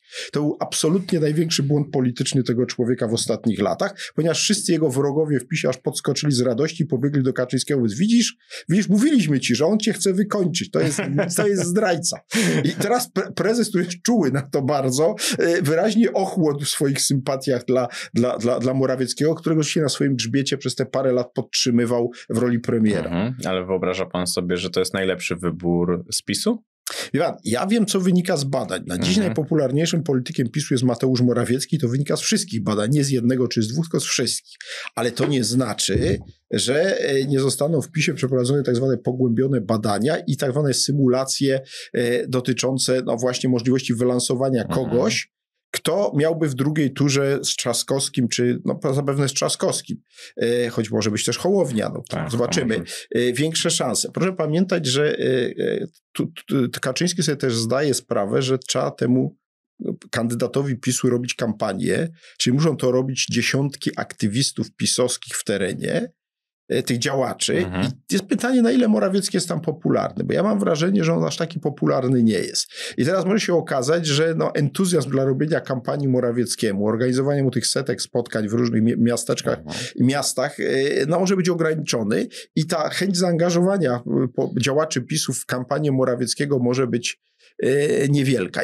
I wtedy się może okazać, że Kaczyński uznał, to nie możemy stawiać na człowieka, którego aktyw nie chce. Więc tam się odbędzie moim zdaniem też poważna rozgrywka tego lata, bo ja spodziewam się, że w mhm. okolicach 11 listopada dopiero gdzieś PiS ogłosi tak, tego tak, kandydata, więc jeszcze wczesną jesienią i to, to wszystko jest możliwe. Za, dla dziś Morawiecki moim zdaniem może być kandydatem PiSu, ale równie dobrze może być realizowany scenariusz Duda-Bis, mhm. czyli szukanie kogoś, kto byłby takim mało znanym kandydatem dzisiaj, ale kogo się da wylansować Choć jak mówię, ja nie wierzę w żaden ten scenariusz. Ja na dziś uważam, że PiSowi się nie uda wygrać wyborów prezydenckich. A dla nas, dla obywateli, lepiej by było, gdyby prezydent nie był z partii rządzącej?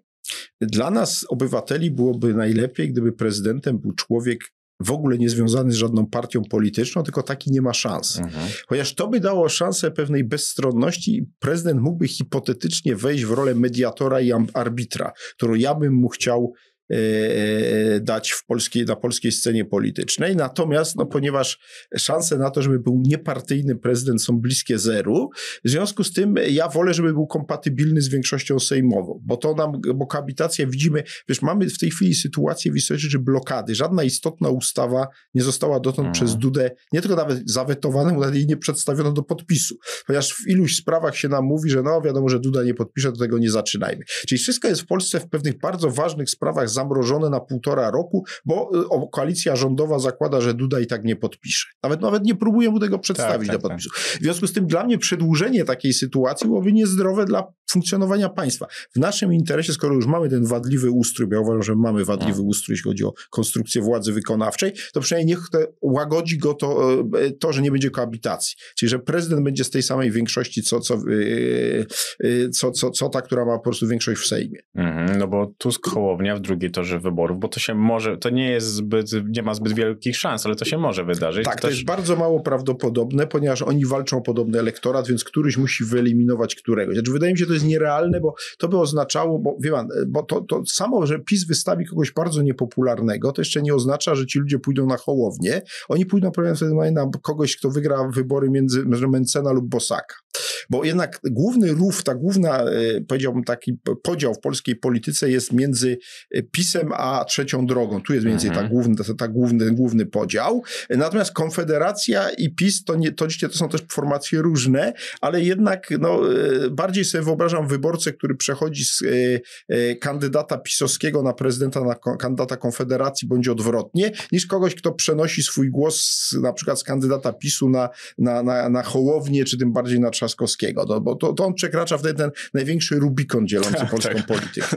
To znaczy, że on nigdy nie miał poglądów, jakby zagłosował później e, na, na taką skrajność, ale wyobraża pan sobie, że to mogłoby rozsadzić koalicję od wewnątrz? Tak, ja myślę, że największym problemem koalicji, którą ja nazywam kordonową mm -hmm. dzisiaj rządzącej, jest, e, są wybory prezydenckie. Jak kordonowa koalicja przetrzyma wybory prezydenckie, to z całą pewnością, czy niemal prawdopodobnie, niemal na pewno dotrwa do końca kadencji bo jeszcze nie wiemy, co się tam wydarzy później. Natomiast największym dla niej zagrożeniem jest właśnie rywalizacja, moim zdaniem, e, Trzaskowskiego z, z e, Hołownią, chociaż być może, być może już jej nie będzie, dlatego że dla mnie pozostaje zagadką, e, dlaczego ruch Hołowni nie wystawił kandydatki pani Porowskiej na prezydenta Warszawy oddał walkowerom Trzaskowskiemu tych kilka procent, być może dając mu szansę na to, co się wydarzyło, czyli zwycięstwo w pierwszej turze. Mhm. Dlatego, że ja oczywiście nie wiem, ile pani Porowska by zebrała głosów. Być może to byłoby 5%, może 3% i, i Trzaskowski i tak by wygrał w pierwszej turze, ale tego nie wiemy, bo nie wystartowała. Natomiast gdyby wystartowała i zdobyła powiedzmy te 8%, to wtedy by oznaczało, że jest druga tura i Trzaskowski mhm. nie miałby już tak łatwo zwycięstwa w Warszawie. Oczywiście tak by wygrał, ale co by to oznaczało, że jego droga do walki o prezydenturę byłaby nieco bardziej utrudniona. A w tym momencie ruch Hołowni y, i sam Hołownia rzucił, można powiedzieć, taki, czy rozłożył taki czerwony dywan przed, przed yy, Trzaskowskim. Nie wiem, po co to zrobił. Załóżmy na moment, na przykład dlatego, że, Trzask że Hołownia uznał, że już i tak nie wygra z Trzaskowskim, ale na przykład chciałby zostać marszałkiem do końca kadencji. Y, I w zamian za to, że on się wycofa z walki o prezydenturę, to dostanie, zostanie renegocjowana umowa koalicyjna kosztem pana Czarzastego, który ogólnie ma pod górkę ostatnimi mhm. czasy i chyba będzie miał po wyborach europejskich jeszcze bardziej. I Hołownia zadowoli się przynajmniej w tej kadencji e, fotelem marszałka Sejmu, a za to do końca, bo jak wiemy, jak nie, no to jesienią mhm. przyszłego roku Hołownia zasadniczo powinien być przez Czarzastego zastąpiony na fotelu marszałka Sejmu. Pamiętaj proszę, by zasubskrybować mój kanał na YouTubie. A Szymon Hołownia pana zdaniem przestraszył się Donalda Tuska, czy miał w ogóle inny pomysł na, na siebie w polityce? No bo on chciał raczej stanąć w szranki, on miał bardzo duże szanse stać się drugą siłą polityczną w Polsce, ale wrócił Donald Tusk i Szymon Hołownia tak naprawdę bardzo szybko został schowany do kieszeni. Znaczy on przespał ten okres, -hmm. dlatego że jak e, Trzaskowski wrócił do polskiej polityki, to Hołownia udzielił takiego wywiadu, powiedział, że on czeka, aż się Tusk wypali. I to był zasadniczy błąd w diagnozie, bo on dał właśnie ten tlen Tuskowi. E, tymczasem, gdyby się zachowywał racjonalnie, to powinien był zawiesić ataki na PiS i skoncentrować się na atakach na Tuska pod bardzo prostym hasłem. Donald Tusk jest człowiekiem, który już Polską rządził, co miał pokazać, to pokazał, przede wszystkim utorował PiSowi drogę do władzy. Czy chcecie znowu przy władzy człowieka, który już utorował PiSowi drogę do władzy? Ale Hołownia milczał w tej sprawie e, i oddał pole czas Tuskowi. Mhm. No i mhm. Tusk jak już wszedł na te 20 ponad procent, to później już konsekwentnie szedł w górę, już było za późno, więc, więc tu ewidentnie Hołownia popełnił błąd. A ja tak uważam, mhm. żeby była jasność. To, żeby była jasność, to Donald Tusk utorował swoją polityką społeczną, właściwie jej brakiem, a także tym, jak mhm. załatwił później sprawę swojej sukcesji, wystawiając panią Kopacz na swoje miejsce, ułatwił PiSowi powrót do władzy. Ja nie mówię, że przesądził o tym, bo to wiele czynników mhm. przesądziło, ale on tą polityką torował drogę do władzy PiSowi. I nawiasem mówiąc, dzisiaj sytuacja się może znowu powtórzyć. Jeżeli Tusk popełni błędy, które jakieś nowe, to utoruje PiSowi drogę do powrotu do władzy. Nawet stare. Tak mi się wydaje, że nawet, bo, bo chyba te same błędy mogą być w tej kadencji, przynajmniej tak mi się e, wydaje, że znowu jest takie straszenie PiSem i... A to, to, to, to na pewno, ale obok straszenia PiSem y, to akurat może być skuteczne. Y, bardziej wydaje mi się wtedy mm, Tusk popełnił błąd, po prostu lekceważąc kwestie społeczne, mhm, tak. Y, zwłaszcza w drugiej kadencji, kiedy już było widać, że, że PiS no, zaczyna do tego podchodzić poważnie, pojawiła się ta propozycja 500+.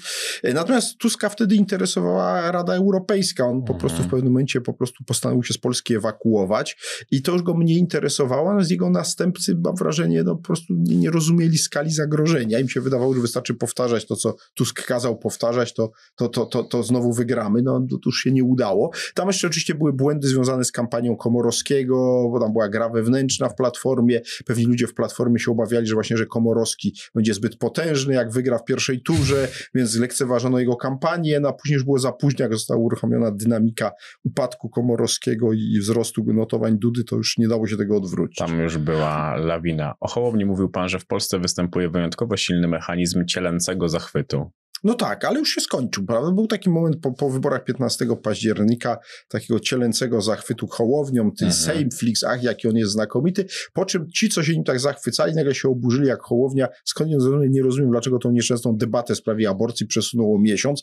To był błąd, bo to z tego nic nie wynikało i sobie ta posłanka Żukowska i te inne panie pokrzyczały, przecież wszyscy byli w koalicji kordonowej zgodni, że Duda i tak tego nie podpisze i do dzisiaj jest ta zgoda. Więc niechby sobie tam pokrzyczeli w marcu, a nie w kwietniu, nie byłoby to, więc tu po popełnił błąd, ale to jest moim zdaniem dużo mniejszy błąd niż ten z prezydentem Warszawy. Mhm. Kiedy pani Porowskiej nie wystawił, bo moim zdaniem oddał, nie wiem za co, yy, Trzaskowskiemu właśnie ten, tą prezydenturę Warszawy tak po prostu ułatwił mu to, mhm. a to jest krok do prezydentury Polski. No ale jak powiadam, nie, generalny problem Hołowni polega na tym, że miesiące mijają, a ja ciągle nie wiem, czym Polska 2050 różni się od Platformy Obywatelskiej. No bo niczym. A no właśnie. Jeżeli się nie wymyśli wyraźnego czegoś. Znaczy, to nie jest tak, że zupełnie niczym. Oni naprawdę ale... różnią jakimiś subtelnościami w polityce mm-hmm. gospodarczej, ale to jest niewyraziste. To muszą być dwa, trzy takie oczywiste różnice, które by dały szansę tej partii na przetrwanie, e, bo jak nie, to ona zostanie zjedzona tak jak nowoczesna, ruch palikota, mm. jeszcze Właśnie chciałem o to zapytać, czy jest szansa, że Donald Tusk zrobi z Szymona Hołowni to, co Jarosław Kaczyński z Pawła Kukiza? No, z Pawłem Kukizem też były zachwyty. Idzie ku temu, kluczem będą oczywiście wybory prezydenckie, no bo tak, Hołownia, jeśli by z nich nie wystartował, co ja sugeruję, ale oczywiście y, to byłby jeszcze większy błąd, bo zadowalanie się funkcją marszałka Sejmu, co jest też hipotetyczne i palcem na wodzie, pisane byłoby absurdem. Zobaczmy, jaki zrobi wynik y, w wyborach prezydencki, jeżeli będzie słabszy niż w 2020 mm -hmm. roku, a tam miał, jeśli dobrze pamiętam, 14%, no to będzie oznaczało, że jego akcje idą w dół. On musi dostać lepszy wynik e, i wtedy nawet jeżeli nie wejdzie do drugiej tury, no to będzie, że jego akcje rosną i wtedy ma szansę na jakąś, powiedziałbym, walkę o dobry, dobry wynik trzeciej drogi. Jest pytanie, czy ta koalicja przetrwa, no ale załóżmy, że przetrwa w następnych wyborach, natomiast problem polega na tym, że oni tam, mówię też o Kosiniaku Kamyszu w tej chwili, e, no, e, ciągle mają problem ze zbudowaniem właśnie tożsamości trzeciej drogi.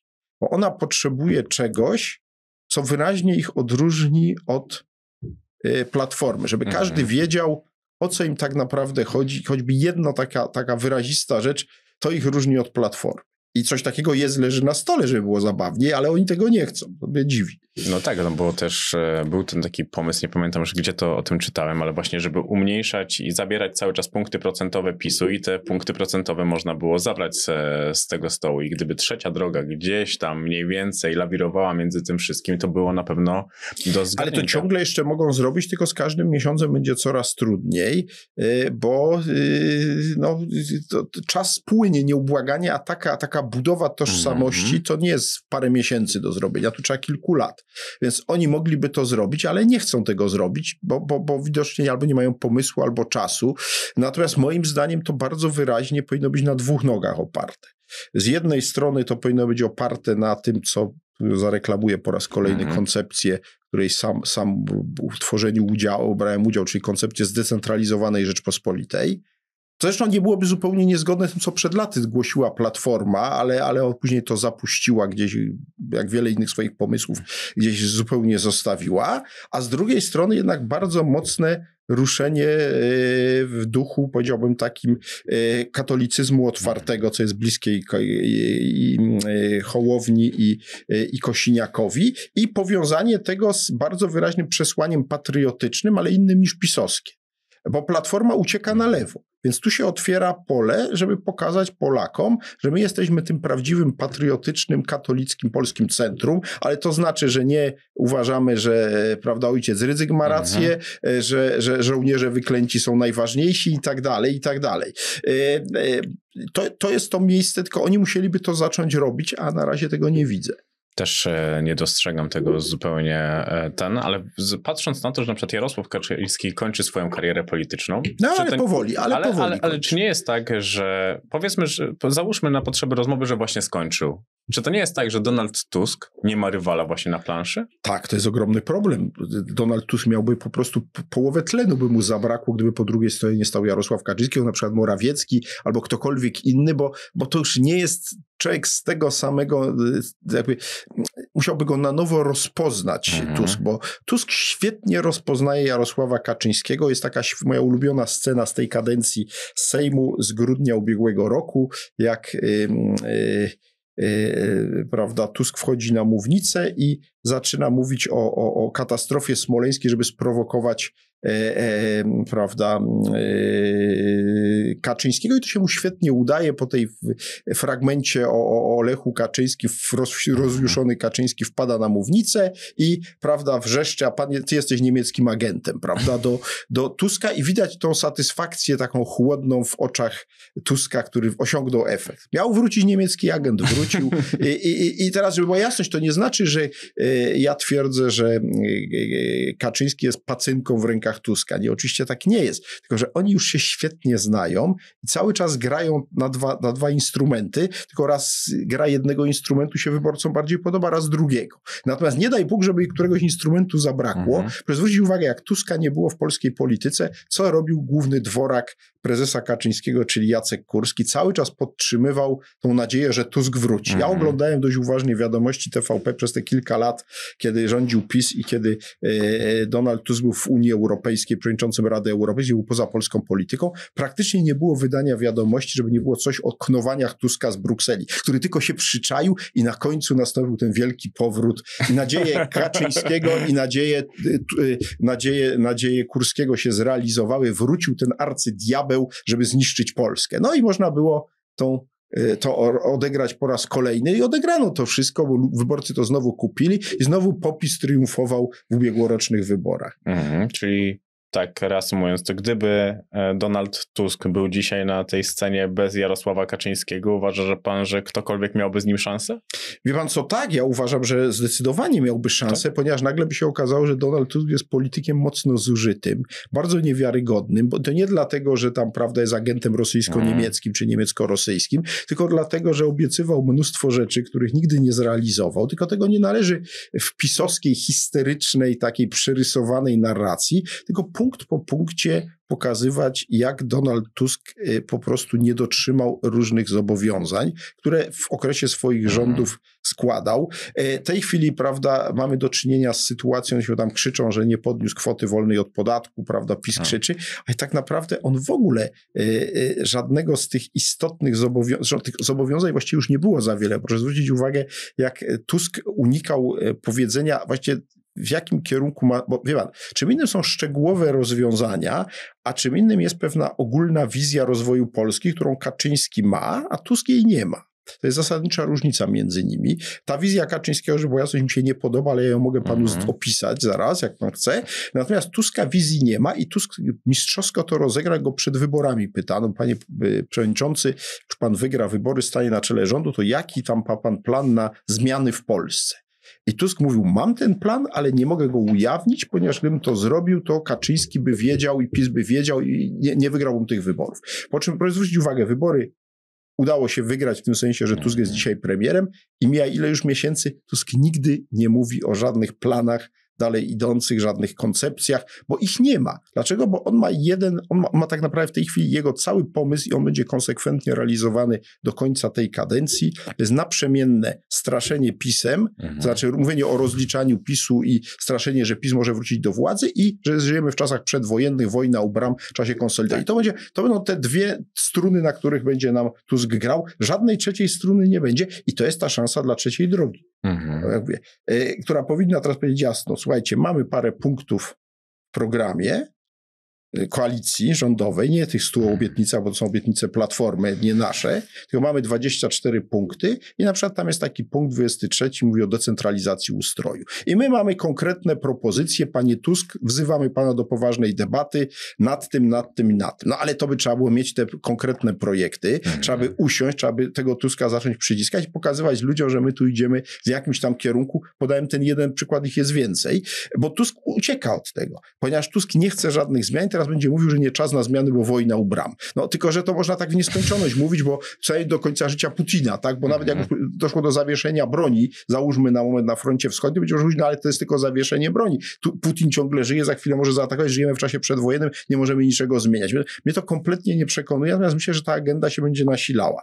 Tusk mhm. widać wyraźnie nie chce żadnych zmian. Dlaczego? Bo on się boi oczywiście tego, że to się może nie udać, że ludzie będą niezadowoleni, że to zaszkodzi wyborczo. W związku z tym on się przyzwyczaił do polityki jako administrowania e, i polityki jako rozwiązywania drobnych problemów bez jakiegokolwiek głębszego reformowania czegokolwiek, bo po co to robić, skoro, e, skoro możemy przez to przegrać wybory i PiS może wrócić do władzy, to lepiej trzymajmy się tego, co jest. Mhm, czyli tak by trochę upraszczając to, czyli nie było aż tak źle, jeżeli mamy się trzymać tego, co, co jest. E, no, zależy.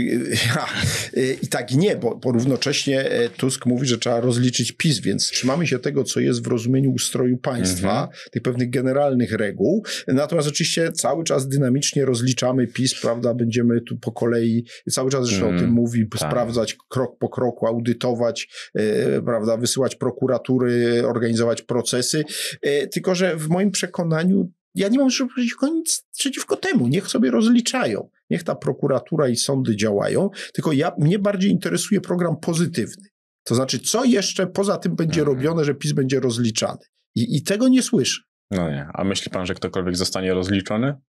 Wie pan co, myślę, że tak. Myślę, że skala niechęci korporacji sędziowskiej do ludzi z PiSu jest tak ogromna, że jak prokuratura dostarczy jakiekolwiek poważne dowody, nie mówię o powodach wydumanych, tylko jakiekolwiek realne, to to, co było dotąd niepisaną w polskiej polityce zasadą, że te wszystkie procesy się kończyły no właśnie niczym, albo ich w ogóle nie było, tylko się kończyło na etapie śledztw prokuratury i to było umarzane i tak dalej, mhm. że to się skończyło i że rzeczywiście teraz pewni ludzie trafią do więzi. Wydaje mi się, że jak tylko sędziowie mhm. będą mieli mieli taką możliwość. No akurat pan Ziobro z racji zdrowotnych być może nie, nie, nie, nie, nie, będzie tu pierwszą taką postacią, ale myślę, że pewni ludzie z jego otoczenia, którzy rzeczywiście wyrządzili ogromne spustoszenia w wymiarze sprawiedliwości, zostaną moim zdaniem za to ukarani, choćby ci odpowiedzialni za malwersację z Funduszem Sprawiedliwości. Dlatego, że tam moim zdaniem ewidentnie no, mieliśmy do czynienia z nadużyciami, e, plus właśnie prezes Obajtek i różne rzeczy związane z Orlenem siedziwy, a także innymi spółkami Skarbu Państwa, ponieważ rzeczywiście mam wrażenie, że tam wielu ludzi traktowało to jako swój osobisty folwark z nadania mhm. dziedzica e, Kaczyńskiego, który im dawał administratorem i tam robili na tym folwarku co chcieli, no to teraz właściciel się zmienił w folwarku i obawiam się, że będą musieli się rozliczyć z tych działań jako administratorzy. No dzisiaj widziałem akurat, ale to był materiał w TVN, nie pamiętam kto już to mówił, że pan Obajtek ukrywa się u pana Orbana. No tak, też słyszałem, że wyjechał na Węgry. No nie dziwi mnie to, bo, bo, bo ja się spodziewałem jego ucieczki za granicę. Yy, pozostaje tylko pytanie, yy, co będzie dalej, to znaczy, czy PiS będzie go bronił i mówił, że to jest, będzie kandydatem Parlamentu mhm. Europejskiego. Ale to się da bardzo ten immunitetu to się, jak już będzie będziemy rozmawiać, ta rozmowa będzie to już, bo my w tej chwili rozmawiamy, jeszcze nie wiemy, e, nie znamy ostatecznej listy kandydatów do Parlamentu Europejskiego, ale tak czy owak PiS prawdopodobnie nie ma wyjścia, będzie go musiał bronić, mhm. więc e, Obajtek czy jako europarlamentarzysta, czy jako uchodźca będzie cały czas bohaterem, wybitną postacią, bo Kaczyński za dużo w niego zainwestował, nie może nagle powiedzieć, że Obajtek zdradził, więc będzie problemem rzeczywiście, jeśli się okaże, że o co podejrzewam, że Obajtek ma za uszami jeszcze dużo, dużo więcej niż nam się wydaje, bo moim zdaniem Kaczyński popełnił w jego sprawie ewidentny błąd, e, fałszywie ocenił tą postać. To mhm. znaczy uznał, że to jest rzeczywiście postać e, wiarygodna, a moim zdaniem pan Obajtek był wybitnie niewiarygodną postacią i prawdopodobnie nie wykluczam też, to może zabrzmieć e, dla wielu osób zaskakująco, co zaraz powiem, ale ja nie wykluczam, że też Obajtek mógł być słupem dla wielu innych ludzi, którzy gdzieś tam za jego plecami robili różne interesy, wykorzystując ignorancję tego człowieka. Mhm. Bo jak się posłucha pana Obajtka, sobie posłuchałem paru wywiadów panem Obajtkiem w czasach, jak był prezesem Orlenu, to trzeba przyznać, że on w kółko powtarzał kilkanaście tych samych sloganów. Wie pan, znaczy on przypominał naprawdę nikodemadyzmy. Mhm. Dyzma też się nauczył paru zdań, tam mister Jaszuński coś mu powiedział, ktoś tam, a później to perfekcyjnie powtarzał. Obajtek się na, nauczył sloganu o koncernie multienergetycznym, paru tych takich pojęć, którymi uży, mm. których używają ludzie zajmujący się generalnie na, na, naftą, czy, czy ropą, czy przetwórstwem i tak dalej. I, i później powtarzał w kółko te, te slogany.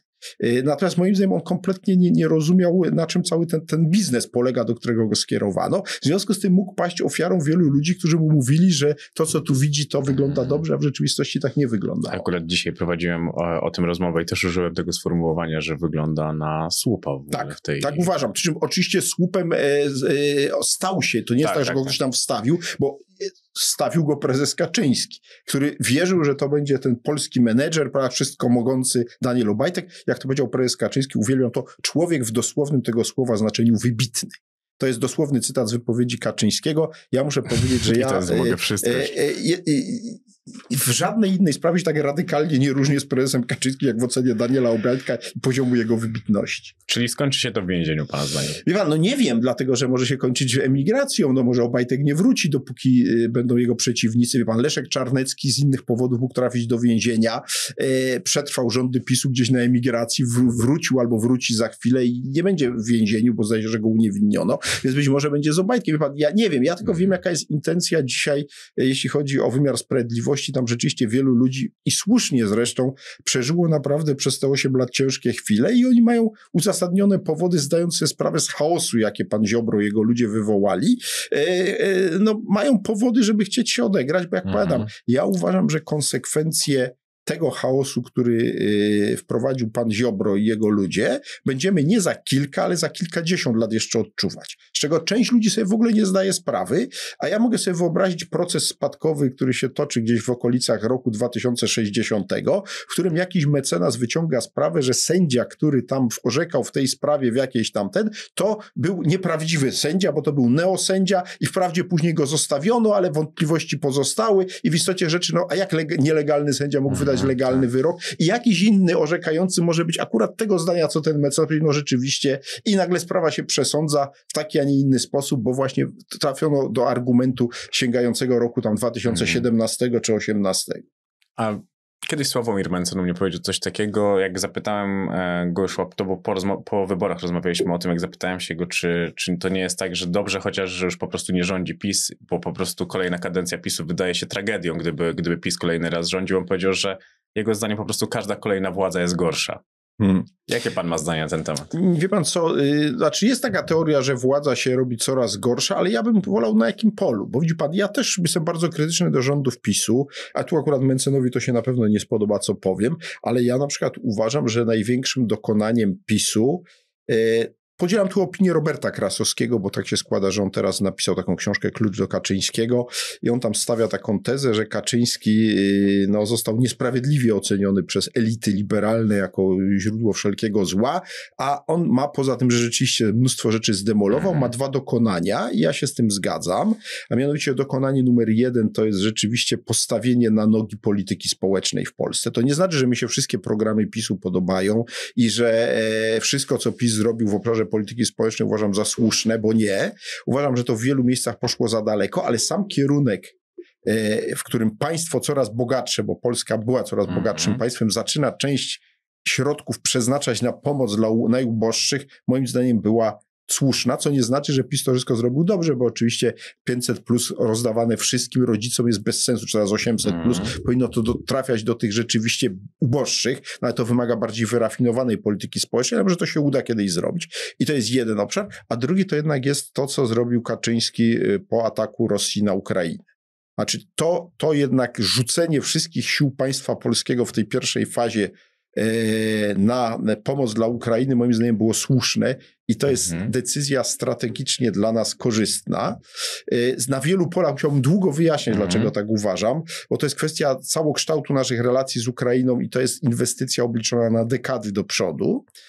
I wiadomo, że później już inni dali więcej, ale kto pierwszy pomaga, ten dwa mhm. razy pomaga. Kto szybko pomaga, dwa razy pomaga. I myśmy byli tym, który pomógł jako pierwszy. Myśmy rzeczywiście rzucili autorytet cały, który mieliśmy na wsparcie dla Ukrainy i uważam, że to było słuszne. Niezależnie od tych malkontentu specjalistów od ludobójstwa na Wołyniu i tak dalej, że tam cały czas mówią, a Ukraińcy to to czy tamto. Myśmy wykonali, i to, to była osobista decyzja Kaczyńskiego. Mhm. I tak, tak tu, się, tu się zgadzam całkowicie e, z, z tą opinią. I to są dwa jego najważniejsze dokonania. Czyli właśnie przywrócenie polityki społecznej w Polsce i z drugiej strony wsparcie dla Ukrainy. Dlatego mam takie pretensje o to, jak łatwo później ten swój drugi sukces sprzeniewierzył w walce o te nędzne głosy no. grupy rolników sfrustrowanych, bo akurat tutaj rzeczywiście zrobiono błąd, bo w sprawie tego zboża e, można było to rozwiązać inaczej i to właśnie w taki oto sposób, jak to Kaczyński lubi. Mianowicie trzeba było utworzyć kanały tranzytowe, monitorowane przez ukochane przez Kaczyńskiego tajne służby i ukochane wojska obrony terytorialnej i sprawić, żeby to zboże sobie jechało rzeczywiście od polsko-ukraińskiej granicy do portów przeładunkowych, gdzie te tajne służby do momentu, gdy ten statek by nie odpłynął, by tego pilnowały. Namnożył Kaczyński tych służb, stworzył Wojska Obrony Terytorialnej. Trzeba było ich użyć do tego. A z tajemniczych powodów tego nie zdołał zrobić. Odstał się dopiero, jak magazyny były zawalone zbożem ukraińskim, gdzie było do przewidzenia, bo niektórzy na czele z jego arcywrogiem Tuskiem e, w telewizji o tym mówili, że będzie z tym problem. I to było e, mówione latem 22 roku. Kaczyński mógł mhm. słuchać swojego arcywroga Tuska i wyciągnąć wnioski, co do niego wróg mówi. To by, to by chyba było za dużo, żeby mógł słuchać swojego. Nie, ale on go słucha. Zapewniam panu, że, pana, że oni się nawzajemnie bardzo uważnie słuchają. Całej swojej wrogości oni muszą się słuchać, żeby reagować w odpowiedni sposób. Były czasy, gdzie Donald Tusk chciał się trzymać na dystans od służb, na tyle, że pozostawił na czele CBA Mariusza Kamińskiego, polityka największej partii opozycyjnego, swojego głównego przeciwnika, bo wierzył, że będzie taki bat na posłów Platformy, że będą się mieli na baczności. Dopiero właśnie kiedy afera hazardowa uświadomiła go, że żadnej ze służb nie można pozostawić w rękach kogokolwiek z drugiej strony i to jest niestety problem, który w Polsce się długo nie zmieni, bo muszą minąć lata świetne, zanim dojdziemy do etapu, na którym czele służb będą stali urzędnicy służby cywilnej. Które miejsca powinniśmy odpolitycznić, by pojawiło się w nich więcej przejrzystości? Wie pan, ha, od czego by zacząć? No jednak trzeba by zacząć od wymiaru sprawiedliwości na czele z prokuraturą, jednak mm od mhm. prokuratury, ale to jest w ogóle niewyobrażalne dla mnie, jak można by odpartyjnić prokuratorę, bo ja odróżniam, żeby była jasność słowa odpartyjnić od odpolitycznić. Mm. Odpolitycznić niczego się nie da, dlatego że ludzie mają zawsze poglądy polityczne, tylko że ci których chciałbym uczynić właśnie urzędnikami służby cywilnej, powinni swoje poglądy partyjne zostawiać przed wejściem do budynku, Mhm. a tam przy założeniu, że mają jakieś poglądy polityczne, powinni się kierować pewną bezstronnością. Ja wiem, że to jest strasznie trudne, e, no ale tu i ówdzie się to w jakimś zakresie udaje na świecie, choć jak mówię, jest to szalenie trudne. Więc prokuratura i służby specjalne. Mhm. E, Zdecydowanie te dwie, bo to są najbardziej wrażliwe, oprócz Najwyższa Izba Kontroli, oczywiście te instytucje takie, e, które, które dotykają tych najbardziej czułych e, aspektów funkcjonowania państwa. Tymczasem, no niestety, w wszystkich tych instytucjach mamy po prostu festiwal partyjnych wojen, które niestety PiS tutaj no, wyjątkowo mocno, powiedziałbym, odcisnął swoje piętno na wszystkich tych instytucjach. Niestety, a o TVP powinniśmy po prostu zapomnieć? Wie pan, TVP jest z tym wszystkim najmniej ważne i to mnie cieszy. Ona kiedyś była bardzo ważna, w tej chwili jej znaczenie e, e, robi się coraz mniejsze, bo oglądalność spada wszystkich Mhm. telewizji, więc i TVP.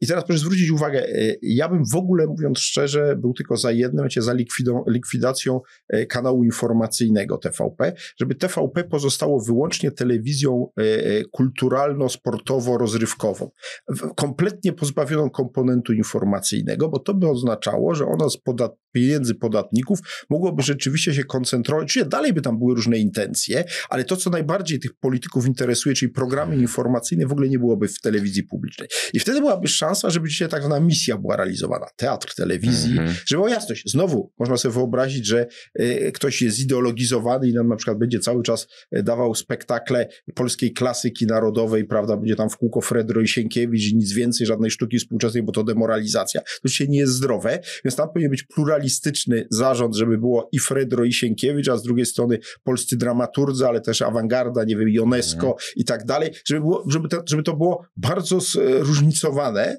E, Natomiast to już nie będzie miało przełożenia na sposób głosowania. I w tym momencie politycy mówią, a no dobra, no byśmy woleli im więcej UNESCO albo inni więcej Sienkiewicza czy, czy Fredry, ale to w sumie to dla nas nie ma znaczenia, podobnie jak te Mhm. inne, zwłaszcza tam te wszystkie programy rozrywkowe, teleturnieje, to wszystko to no, Tutaj tak naprawdę to już nie jest istotne. I w tym sensie to w ogóle y, y, zeszłoby na drugi Mhm. plan, ale i tak zejdzie. To znaczy, nawet jak tak się nie stanie i TVP Info i te programy informacyjne zostaną, to ich atrakcyjność będzie malała. Natomiast dla mnie bardzo ciekawy jest przykład, co będzie dalej z telewizją Republika, bo ja trzymam kciuki za powodzenie telewizji Republika. Niech sobie partie tworzą takie anteny.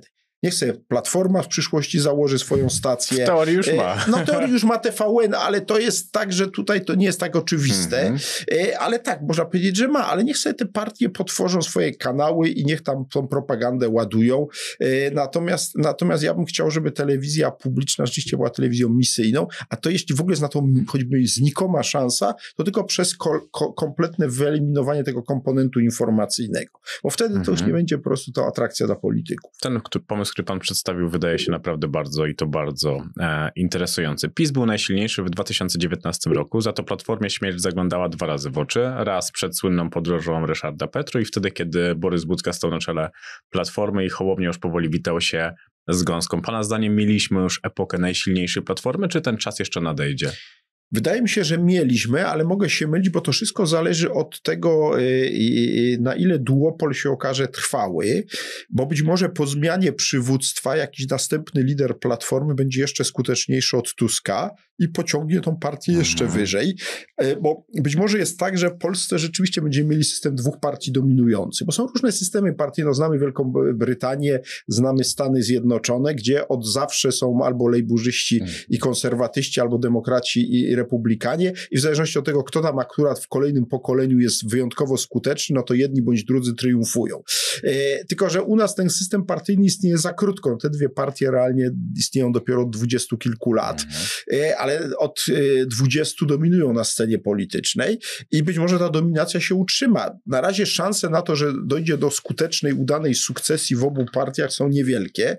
E, Co do PiSu w ogóle trudno cokolwiek Mhm. rokować, bo tam zawsze rządził Kaczyński, natomiast widzieliśmy, co się działo z Platformą, jak odszedł Tusk. Tam to wszystko szło coraz gorzej. Tak. Szło w dół i można powiedzieć, że rzeczywiście Tusk uratował Platformę i to, to co do tego nie mam cienia wątpliwości. E, więc zobaczymy, co będzie jak z końcem tej dekady, jak on odejdzie, no bo Tusk odejdzie na, najpóźniej z końcem tej dekady, może wcześniej. Różne są spekulacje. Kaczyński też odejdzie w tej dekadzie i to będzie taki moment e, próby dla obu tych potężnych Mhm. aparatów partyjnych. Albo one zdołają wyprodukować kogoś, kto będzie skutecznym następcą, w tym sensie może nie, że od razu osiągnie apogeum sukcesu, ale utrzyma tą partię e, przez ten kryzys sukcesyjny w całości i pozwoli jej tam z czasem odbudować pozycję, albo ona się zacznie rozpadać, rozlatywać. Dzisiaj większość gra na rozpad, na ro, ro, ro, ro, rozwalenie tego. Mówię o tych graczach Mhm. zewnętrznych. Wielu, wielu czeka na to, żeby w końcu otworzyło pole po PiSie i po Platformie. Ja zawsze mówię, że tutaj papierkiem lakmusowym są wybory prezydenckie. To znaczy albo w drugiej turze wyborów prezydenckich w przyszłym roku spotka się po raz kolejny kandydat PiSu z kandydatem Platformy. To znaczy, że system partyjny ma się Mhm. świetnie i w wyborach w 27 roku te dwie partie prawdopodobnie znowu będą głównymi graczami, albo też coś się wydarzy w przyszłym roku takiego, że ten duopol zacznie słabnąć i wtedy już wynik wyborów w 27 roku może być bardziej Mhm. wątpliwy, bo się pojawi luka w systemie. Ale na razie od 2005 roku w wszystkich wyborach mamy Tak. zawsze kandydata PiSu i kandydata Platformy. 20, 20 lat e, będzie, no to już jest naprawdę kawałek e, czasu. Ja też jestem zaciekawiony tym, jak sobie spojrzymy na to, że powiedzmy, że prezes Kaczyński odchodzi, przychodzi nowa osoba, która zarządza partią i na przykład, czy znajduje taki haczyk, jak prezes Kaczyński w, wtedy, kiedy przytulił się do kościoła, schował swoje, schował swoje poglądy do ojca ryzyka i że ten nowy, nowy przywódca PiSu gra inaczej, na przykład zaczyna rywalizować z Konfederacją i podejmuje rękawice. Nie no, porzuca to tego, Przemysław ale Czarnek, Przemysław Czarnek, gdyby wygrał walkę o sukcesję, na pewno podjąłby tą rywalizację. E, więc to zależy, kto będzie tym sukcesorem. Mhm. Na pewno, gdybyśmy szukali takiego, który walczy ostro z Konfederacją, zwłaszcza z tym narodowym jej skrzydłem, to to jest Przemysław Czarnek, zdecydowanie. On ma wszelkie zadatki na takiego właśnie, który jeszcze bardziej PiS skręci w prawo i będzie próbował zwłaszcza ten, tych z Konfederacji zupełnie Ale pytanie, czy, pytanie właśnie, czy droga nie jest trochę bardziej w centrum, tak, żeby jednak zrobić to bardziej soft, No ale... właśnie o to chodzi, że właśnie problem polega na tym, że y, na tym polegał talent Kaczyńskiego, że on grał na dwóch fortepianach, bo z Mhm. jednej strony był ten, to radykalne skrzydło kiedyś Macierewicz, później Czarnek, różne inne tam osoby, z drugiej strony był Morawiecki, to skrzydło bardziej umiarkowane. I tak naprawdę wielkie sukcesy się odnosi, jak się ma partię dwuskrzydłową. E, Sztuka Kaczyńskiego polegała na tym, że on zawsze potrafił jakoś tymi skrzydłami zarządzać. Zresztą podobnie było z Tuskiem, tak? Tusk w pewnym momencie miał i Gowina, i Arłukowicza, tak? Więc tak się buduje wielkie obozy polityczne. I z tego punktu widzenia Czarnek jest człowiekiem, który PiS wykończy, ponieważ on odetnie go od centrum, go zepchnie na prawo i, i, i zabierze mu te 10% centrowych wyborców, bo jest zbyt radykalny. Mhm. Właśnie PiS i Platforma potrzebują liderów właśnie potrafiących w ramach swojego ugrupowania utrzymać te dwa skrzydła, e, które się nie lubią nawzajem, które są rywalizują, ale muszą być w pewnej równowadze. A Kaczyński oczywiście jest na pewno bliżej Czarnka niż Morawieckiego w tych różnych Mhm. poglądach, ale potrafił jakoś to godzić i, i zresztą moim zdaniem tu się e, prawdopodobnie tkwiła dlaczego między innymi to był jeden z powodów, dla których Morawiecki został premierem, ponieważ Kaczyński uznał, że e, on przy tych swoich poglądach takich bardziej umiarkowanych, e, które są w PiSie mniej popularne, jak zostanie premierem, będzie równoważył tych większych radykałów, a zarazem oddziaływał na Brukselę. Mhm. Więc tak mam wrażenie, że to taki był pomysł mniej więcej. No i zobaczymy, zobaczymy co, co zrobi z kolei Tusk, jak przyjdzie moment sukcesji, bo z Kopacz mu nie Mhm. wyszło ewidentnie. Zobaczymy, kogo będzie namaszczał po raz kolejny, jak będzie odchodził, bo niewątpliwie każdy z tych liderów będzie próbował kogoś namaścić na swoje miejsce, skutecznie bądź nie, to się po jakimś czasie okaże. Tak, patrząc na to, że zamykamy w jednej klatce Morawieckiego, Czarnka, Ziobrę, Kurskiego, naprawdę tam patrząc na to, jak Mateusz Morawiecki miał tym zarządzać, to pokazuje, że tam było naprawdę niebezpiecznie. Tam każdy go dość mocno gryzie. Tak, zdecydowanie tak, chociaż akurat y, wydaje się, że Ziobro raczej już do polityki nie wróci. Nie, nie, tak ale mi chodzi mi o ten czas, kiedy Nie, zarządzał. no tak, tak, wtedy tak. Znaczy, no rzeczywiście Kaczyński pod tym względem był niezwykle skuteczny, zarządzał rzeczywiście e, bardzo różnymi osobami i udało mu się przez te wszystkie lata uniknąć poważnego rozłamu. No ja Mhm. przypomnę, że ostatni duży rozłam, e, w- W y, PiSie był w 2011 roku, nawiasem roku zrobił go Ziobro Skórski, którzy po trzech latach wrócili do Kanosy, po tym jak dostali lanie w wyborach y, w 2014 roku do Parlamentu Europejskiego, zrozumieli, że y, nie będzie drugiego płuca prawicy, bo to miał Kurski taką ideologię do tego rozłamu zbudował, że to jest tak zwane, będzie budował Solidarna Polska, będzie ówczesna, dziś suwerenna, mhm. tak zwane drugie płuco prawicy. Okazało się, że to zamiast płuca się zrobiło płucko i trzeba było uciekać, bo za chwilę tlenu by zabrakło z tego płucka i wrócili do, do Kaczyńskiego, który ich przyjął. No właśnie dlaczego? Bo uznał, że lepiej, żeby oni byli, e, choć ich nie, cały czas, zwłaszcza mhm. Ziobrę miał jednak, trzymał na dystans, bo Kurskiemu jednak pozwolił na więcej, ewidentnie miał do niego słabość e, i chyba ciągle ma, za chwilę się mhm. przekonamy. E, w każdym razie, w każdym razie on, on, on uznał, że to jest większe ryzyko, jak oni będą działali, działali yy, obok, prawda? Bo mm -hmm. wtedy mogą uróść, tak jak urosła w którymś momencie Konfederacja, aczkolwiek też ewidentnie Kaczyński, to jest jego chyba największy błąd, yy, kiedy zobaczył, jak sondaże tąpnęły po 2020 roku, po wyroku Trybunału w sprawie aborcji. Wszystkie sondaże pokazywały właściwie czy niemal wszystkie pokazywały to, co się wydarzyło 15 października, że PiS będzie miał największy klub, ale nie będzie miał większości. Tak. I gdyby Kaczyński się zachował racjonalnie, to przez cały 21 i 22 rok hodowałby sobie koalicjanta. I były opcje dwie. Albo to mógł być PSL, albo to mogła być Konfederacja. A tymczasem nie było widać jakiejkolwiek chęci ze strony PiSu, żeby sobie znaleźć tego przyszłego koalicjanta. Kaczyński jakby naprawdę uwierzył w to, że będzie rządził samodzielnie po raz trzeci. Nie wiem na jakiej podstawie, skoro widać było, że PiS słabnie i tu w nim jest jakieś zupełnie, przy całej tej jego skuteczności politycznej, o której tu mówię, jest dla mnie jakaś też zdumiewająca ślepota, ignorowanie. Niektórzy mnie przekonują, że to dlatego, że Kaczyńskiemu stworzono odrębny świat sondaży, bo PiS rzeczywiście robił te mm. swoje sondaże i cały czas ponoć one były dla PiSu korzystniejsze i cały czas mu wmawiano, panie prezesie, tamte sondaże to są mniej wiarygodne, bo to są wiadomo, kto tam za tym stoi, a my tu mamy te nasze wewnętrzne, co to myśmy za nie zapłacili i one są w pełni, i tu mamy 40 a będzie więcej. Ale no, może, może po prostu uwierzył, że jest Bogiem, bo to też jest taki element. Nie, nie, myślę, że aż tak to nie. Natomiast nie. oczywiście y, on jest otoczony kultem y, i on ma poczucie, prawda, że, że, że, że, że dla iluś ludzi jest absolutnie nieomylny. Natomiast nie, ja myślę, że, że, że, że to nie jest tak, że on wierzył, że to wszystko. Zresztą trudno mi powiedzieć, no nie chcę spekulować.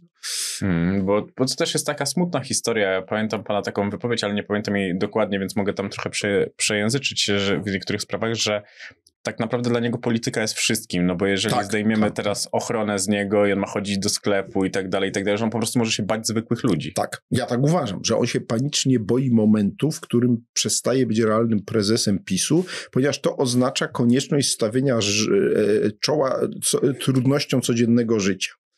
E, których on jest kompletnie od lat, e, jakby no, wszystko mu partia organizuje. Mm -hmm. I, i, I on, a zresztą, żeby była jasność, on ma powody, żeby się czuć osobiście zagrożony. Ja oczywiście nie sądzę, że jest grupa ludzi, która organizuje zamach na Kaczyńskiego, ale ja uważam, że jest grupa ludzi, która jak go spotka gdzieś na ulicy, w parku albo w sklepie, to mu nawrzuca, mówiąc kolokwialnie, i to jest nieprzyjemne.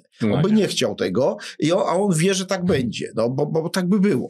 W związku z tym on ma tego typu też motywację do trwania w polityce myślę, że to jest ogromnie silna no motywacja. Bo poza tym, poza tym po prostu nie ma e, żadnego życia. Wspomnieliśmy trochę o Kościele, bo powiedział pan, że polski Kościół czeka ciężka epoka.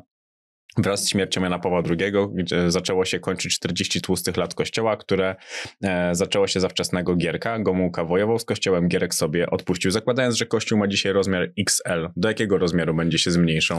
Ach, to jest trudno przewidzieć, natomiast na pewno się będzie kurczył. Y, to jest nieprzewidywalne oczywiście, bo jak to określić? No, na pewno będą spadały te wszystkie wskaźniki uczestnictwa w mszy świętej, wskaźniki y, tych, którzy przyjmują komunię jeszcze bardziej. To wszystko będzie leciało w dół. Dlaczego? Bo młode pokolenie po prostu odeszło od kościoła i będzie odchodziło, dlatego że to, co episkopat teraz zaprezentował w postaci wyborów nowego przewodniczącego episkopatu, który został biskup Wojda, jest mhm. klasycznym dowodem ignorowania e, przez tą korporację biskupów rzeczywistości. Oni uważają, że e, im bardziej rzeczywistość jest e, dla nas niekorzystna, tym bardziej musimy po prostu to ignorować, bo ona się mhm. zmieni. Musimy przeczekać, bo za nami 2000 lat, to co tam, jakieś wahnięcie, tylko jakby, bo to jest prawda oczywiście, że, że Kościół Kościół ma sobą 2000 lat i przeżył naprawdę duże problemy i miał okresy załamania, e, tylko że no, to załamanie będzie bardzo głębokie, natomiast też prawda jest taka, że Kościół ma ogromne rezerwy i będzie z tych rezerw korzystał, mówię tu o rezerwach materialnych, mhm. więc, więc jest szansa, że w perspektywie kilku dekad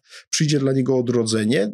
Dlaczego? No dlatego, że to jest kwestia siły chrześcijaństwa. No, moim zdaniem to jest religia, która ma ciągle w sobie pewne żywotne jakby źródła i będą ludzie do tego wracać, bo to jest też ciśnienie pewnej tradycji, nie Żydzy się od niej chcą mhm. odci odciąć, tylko że oczywiście to będzie wymagało głębokich zmian na poziomie no właśnie zarządzania kościołem, skończy się rola yy, powiedziałbym yy, taka ogromna księży w kościele, yy, tak jak to się stało w wspólnotach protestanckich, gdzie jednak te wszystkie rady parafialne, to wszystko ma znacznie więcej do powiedzenia. Być może w ogóle ten impuls przyjdzie z Rzymu, bo, bo może się pojawi mhm. kapłaństwo kobiet. Ja uważam, że to jest kwestia nieodległa.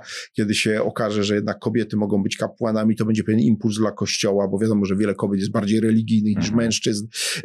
To jest kwestia oczywiście zniesienia celibatu, który jest kompletnym anachronizmem i jest w moim przekonaniu jednym ze źródeł nadmiernej nadreprezentacji homoseksualistów w hierarchii kościelnej, co nie wyszło tej korporacji na zdrowie i to nie chodzi y, o te wszystkie afery pedofilskie wyłącznie, tylko generalnie mhm. Y, o, o, o pe, pe, pewien sposób działania i tak dalej, i tak dalej. No, y, więc podsumowując, ja myślę, że Kościół czeka 40, kolokwialnie 40, bo to może być 20, może być 60 mhm. lat chudych, po których on się odrodzi, tylko to już będzie zupełnie inny Kościół, tak jak ten Kościół obecny już jest inny niż ten 100 lat temu czy 200, bo Kościół, chociaż trwa 2000 lat, to w istocie rzeczy się zasadniczo zmieniał. Mhm. I to nie tylko chodzi o Sobór Watykański II, choć on tu jest taki centralny, ale ma swoje, gdzieś tam będzie oczywiście grupka tradycjonalistów, którzy będą dalej po łacinie msze odprawiać i w ogóle e, pewnie stworzą jakiś kościół e, ortodoksyjnie rzymskokatolicki, mhm. uznając wszystkie reformy, które zapewne następny papież przeprowadzi, to wszystko jest odejście. Spodziewam się schizmy, mówiąc krótko, w Polsce, bo, bo mamy niewielką grupę tych tradycjonalistów, dla których już Sobór Watykański jest podejrzany, więc tym bardziej to co się dzieje później jest tym bardziej podejrzane, tylko że to będzie grupka kilkudziesięciotysięczna, niech ona sobie istnieje, może dwustutysięczna. Y, to w skali masowej nie ma znaczenia, natomiast generalnie no, mas masowość katolicyzmu się w Polsce skończy. Nie mam co do tego hmm. wątpliwości, ale nie uważam, żeby chrześcijaństwo się w ogóle miało skończyć w Polsce. Nie no, to tak jak trochę z mediami. To nabierze trochę innego wymiaru. Dokładnie tak. To dokładnie ta sama kwestia. Po prostu społeczeństwo się dość dynamicznie zaczęło zmieniać i też e, poszukuje e, różnych rzeczy. E, myśli pan, że jedną z ostatnich akcji Jarosława Kaczyńskiego będzie wspieranie ruchu protestującego przeciwko usunięciu Lecha Kaczyńskiego z Wawelu? Zakłada pan, że Lech Kaczyński zostanie usunięty? Myślę, że takie e, żądania się pojawią. To jest tylko mhm. kwestia czasu, e, ponieważ no, Donald Tusk będzie grał na rozliczaniu PiSu. Jak się już skończą te etapy, że trzeba rozliczyć, prawda, te afery w rodzaju kto co ukradł albo jakie decyzje błędne podjął, zacznie się de depisyzacja w warstwie symbolicznej, myślę po wyborach prezydenckich. O. Zwłaszcza jeśli to będzie istotnym elementem, no i zakładam, że ktoś niepisowski je przegra, to się pojawią takie hasła właśnie usuńmy pomniki, usuńmy Lecha Kaczyńskiego z Wawelu. No generalnie przeprowadźmy, zresztą była jasność, ja jestem temu głęboko przeciwny. Mhm. Ja to powiedziałem nie przez przypadek, także po to, żeby temu zapobiec, bo ja czasem uważam, że warto takie działania, bo nie, żebym był fanem umieszczania tam. Uważam, że Paweł Kowal, który to wymyślił, popełnił błąd, e, zgłaszając wtedy tą propozycję, no ale to się już dokonało. Jestem przeciwnikiem, mówiąc krótko, zmian tego rodzaju, podobnie jak przeciwnikiem usuwania tych pomników, mhm. e, które gdzieś tam wyrosły. Niech one sobie zostaną, e, ponieważ Lech Kaczyński był jednak prezydentem wybranym w wyborach powszechnych i zginął pełniąc swój urząd w największej, najbardziej dramatycznej katastrofie, która się wydarzyła po II wojnie światowej w Polsce i ona zasługuje zasługuje na upamiętnienie, kropka. A ja mam do Lecha Kaczyńskiego stosunek mocno ambiwalentny. Jak ktoś chce się mhm. dowiedzieć, jaki, to polecam moją historię polityczną Polski. Tam o Lechu Kaczyńskim jest sporo, piszę o tej jego polityce jagiellońskiej, o jej zaletach i wadach, słabościach, ale z całą pewnością nie jest to dla mnie powód, żeby go w tej chwili usuwać z Wawelu. Wie pan, yy, mnie się na przykład yy, zdecydowanie ma bardziej krytyczny yy, do Józefa Piłsudskiego stosunek niż do Lecha Kaczyńskiego. On tam na Wawelu sobie jest od znacznie dłuższego czasu i niech sobie będzie. Podobnie nie pro, proponuję usuwania Piłsudskiego z, z pomników. Mm, jestem ciekawy, bo to może bardzo mocno wzmocnić PiS jednak, bo ludzie dookoła e, PiSu i tacy bardzo tradycjonaliści jednak pójdą za tym, będą przeciwko temu wszystkiemu. Jednak tak. takie rzeczy bardzo ludzi angażują. Tak, dlatego właśnie ja się, dlatego o tych wielu rzeczach mówię, że mam nadzieję, że to nie nastąpi, ponieważ ja uważam, że ostatnią rzeczą, jaka nam jest potrzebna e, w obecnej sytuacji jest jeszcze większe eskalowanie konfliktu politycznego, jeszcze no, większa polaryzacja. wojnę domową. Tak, ja się kiedyś tego obawiałem, teraz się trochę mniej tego boję, bo y, nie kryję, że y, y, ja po prostu ciągle do niedawna starałem się serio traktować różne wypowiedzi polityków, ale przyznaję, że, że no trudno mi traktować serio to, co oni mówią po, zwłaszcza co mówi prezes Kaczyński po po, po, po wyborach yy, ubiegłorocznych, no bo jakby traktować serio to, co on mówi, no to logicznym wnioskiem było, że prezes Kaczyński powinien zejść do podziemia, przestać się pojawiać w Sejmie, zacząć tworzyć polskie państwo podziemne. Zresztą niektórzy, nawiasem mówiąc, co bardziej zagorzali zwolennicy PiSu, pewien profesor, e, którego niegdyś szanowałem, publicznie wystąpił w, na, w portalu pisowskim z taką propozycją, że trzeba tworzyć sieci kolportażu, podziemnych drukarni, bo za chwilę zabronią i tak dalej. On to śmiertelnie płaci. To jest taki człowiek znający stan wojenny dość dobrze, bo o nim też pisał, więc słuchajcie, mhm. za, zaczął odtwarzać te schematy, no tylko to było groteskowe. No ale, ale to na szczęście, na szczęście prezes Kaczyński czegoś takiego nie robi, on tylko mówi, że ma zamach, zamach stanu się w Polsce dokonał, że właściwie nie ma demokracji, konstytucja nie obowiązuje, no więc yy, no to tylko to serio trudno poważnie traktować, bo gdyby naprawdę tak było, no to mówię, konspiracja i ruch oporu podziemny. Mówi pan, że wahadło zaczyna zmierzać w lewą stronę. Uważa pan, że w Polsce pary homoseksualne w przyszłości będą mogły adoptować dzieci, zlegalizujemy marihuanę.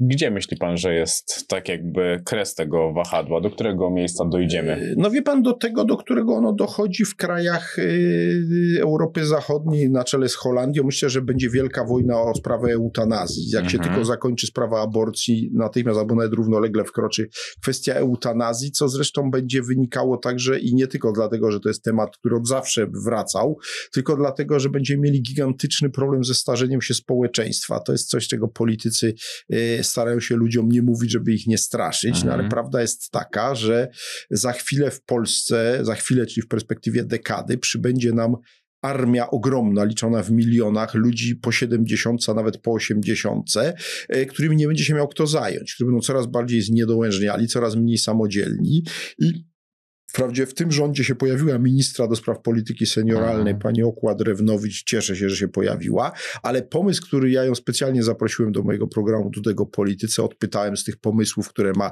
obecny rząd. I to nie są złe pomysły, pomysł tak zwanego bonu senioralnego, ja za niego trzymam kciuki, tylko to jest pomysł dla tak zwanych seniorów, y, którzy są e, jeszcze w pewnym zakresie samodzielni. Znaczy mhm. są w stanie na przykład, mówiąc krótko, podstawowe czynności życiowe w mhm. mieszkaniu spełniać i wtedy taki dochodzący tam finansowany z tego bonu senioralnego opiekun im tam zrobi zakupy, posprząta, coś ugotuje, okej. Okay. Tylko problem jest z tymi, którzy już nie będą w stanie sobie sami odgrzać tego jedzenia, sami pójść do toalety i tak dalej, a to będą liczby liczone w milionach.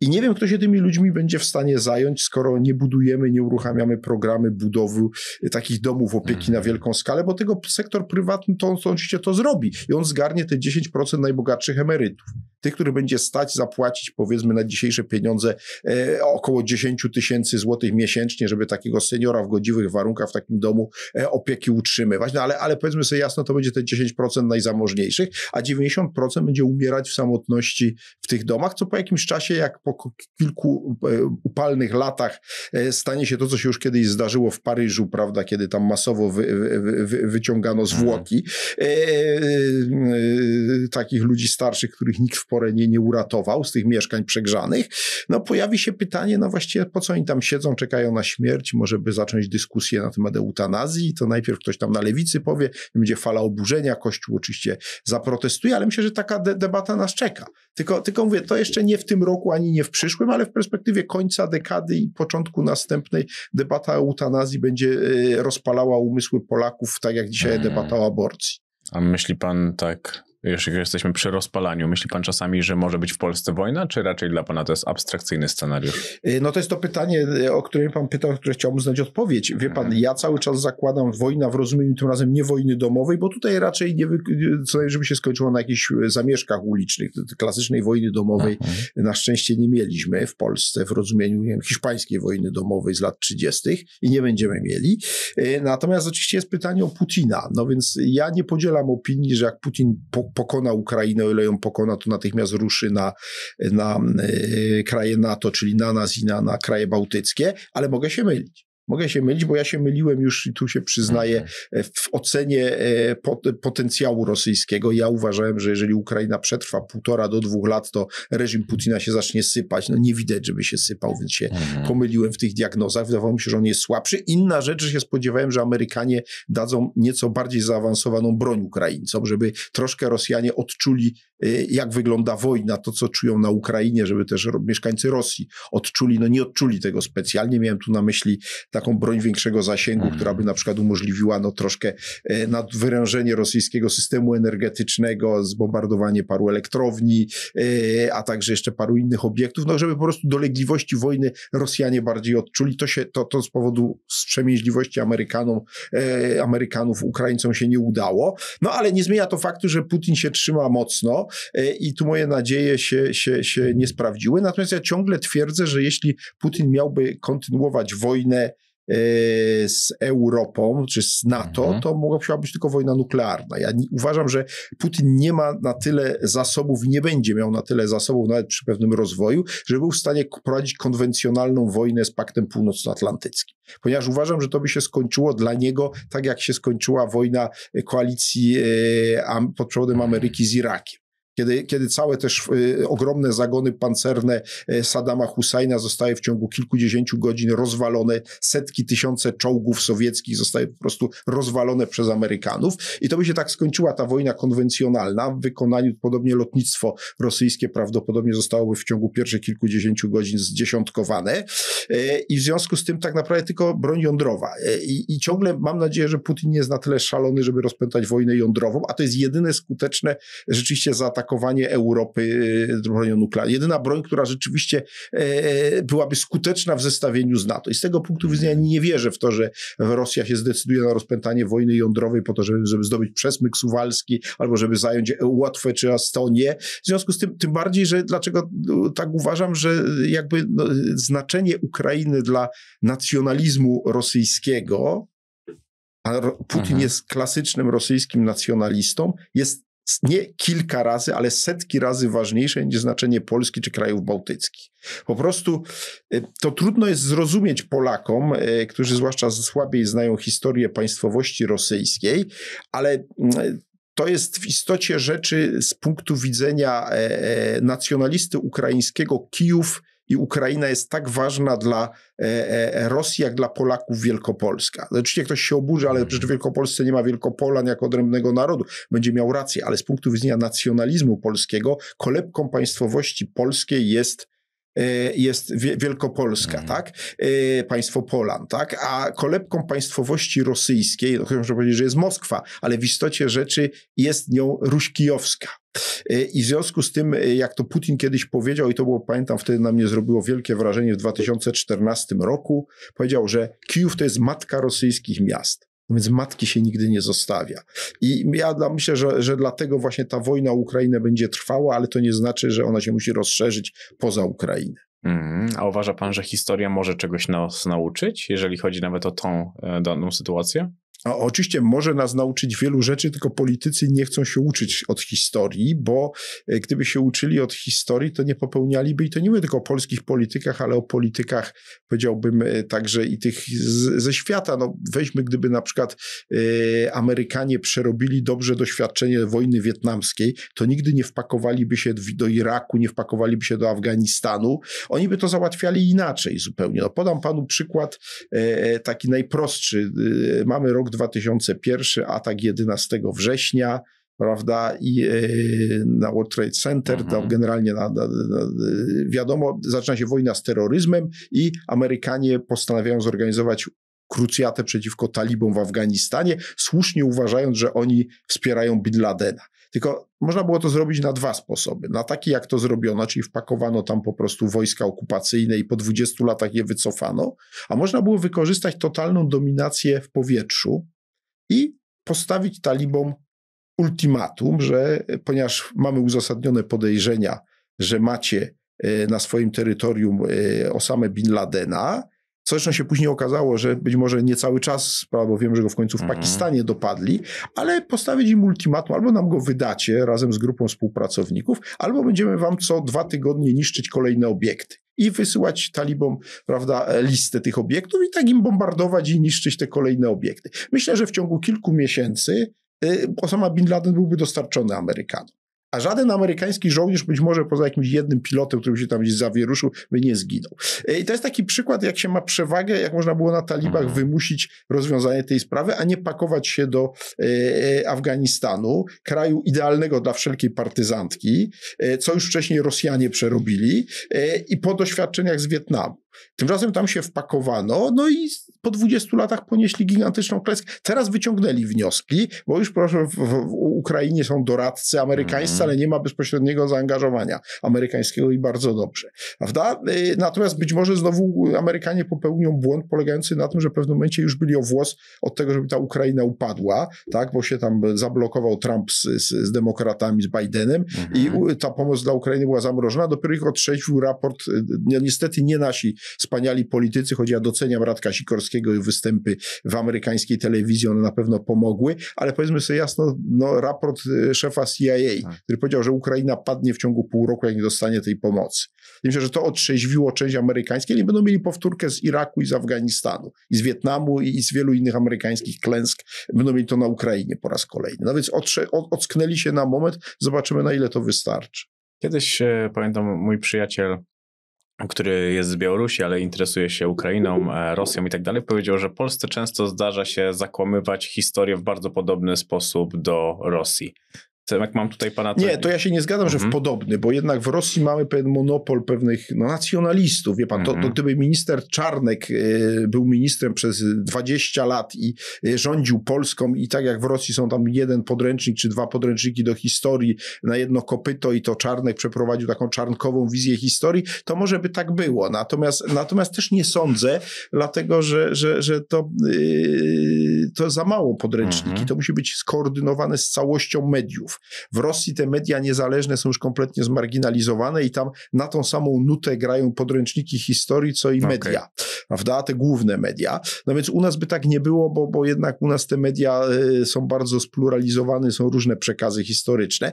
Natomiast y, problem polega na czym innym, na tym, że my lubimy też pewne mity, zresztą wszyscy lubią mm. mity, yy, tylko że my jakby ponadprzeciętnie, o może w ten sposób i my lubimy taką wersję polskiej historii, no yy, wieczne ofiary, wszyscy tak, nas tak. zdradzili i tak dalej. No to jest to, co właśnie PiS próbował bardzo mocno podgrzewać, czemu ja jestem zdecydowanie przeciwny, bo ja uważam, że to jest, to jest po prostu karmienie się fałszywym przesłaniem historycznym, bo oczywiście byliśmy ofiarami i wielokrotnie nas zdradzano, ale też i my byliśmy oprawcami i myśmy też zdradzali różnych e, po drodze naszych partnerów. E, czasem żeśmy przepraszali, a czasem nie.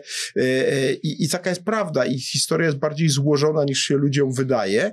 I, i w tym sensie, ale tak mówię, to nie tylko, nie tylko u nas. No, mity są wszędzie no nie, no, gdzieś no jasne, że tak. To jak najbardziej. Dlatego jeżeli ktoś szuka wartościowej wiedzy o historii, to zapraszam na pana kanał. Ja się bardzo dużo rzeczy z tego kanału dowiedziałem i polecam e, każdemu. Ja panu bardzo i to bardzo dziękuję. A ja jeszcze w takim razie polecam tak. moją książkę która tu cała, cały czas leży. Ja polecam jest, jeszcze tak, wszystkie, które, tak, które miałem przyjemność przeczytać. Tak jest. Utopia nad Wisłą, historia PRL-u. Kto jeszcze nie czytał, a chce się czegoś naprawdę ciekawego PRL-u dowiedzieć, to proszę bardzo, Antoni Dudek Zdzisław Zbleski, mój kolega profesor Uniwersytetu Jagiellońskiego, taką tą książeczkę popełniliśmy. Fotele w podcaście żurnalisty zapewnia Jumisu. Ja mogę powiedzieć, że to nie jest tak, że to jest książka o historii, która jest nudna, bo książki historyczne często kojarzą się młodym ludziom z nudą. To kompletnie nie jest nuda, to jest naprawdę fantastyczna zabawa i podróż w głąb historii, a przez to możemy dużo lepiej zrozumieć e, naszą codzienność i nasze przywary, których nawet często nawet możemy nie wiedzieć skąd mamy. Dokładnie, a PRL-u jest w naszej rzeczywistości naprawdę dużo, chociaż na szczęście już nie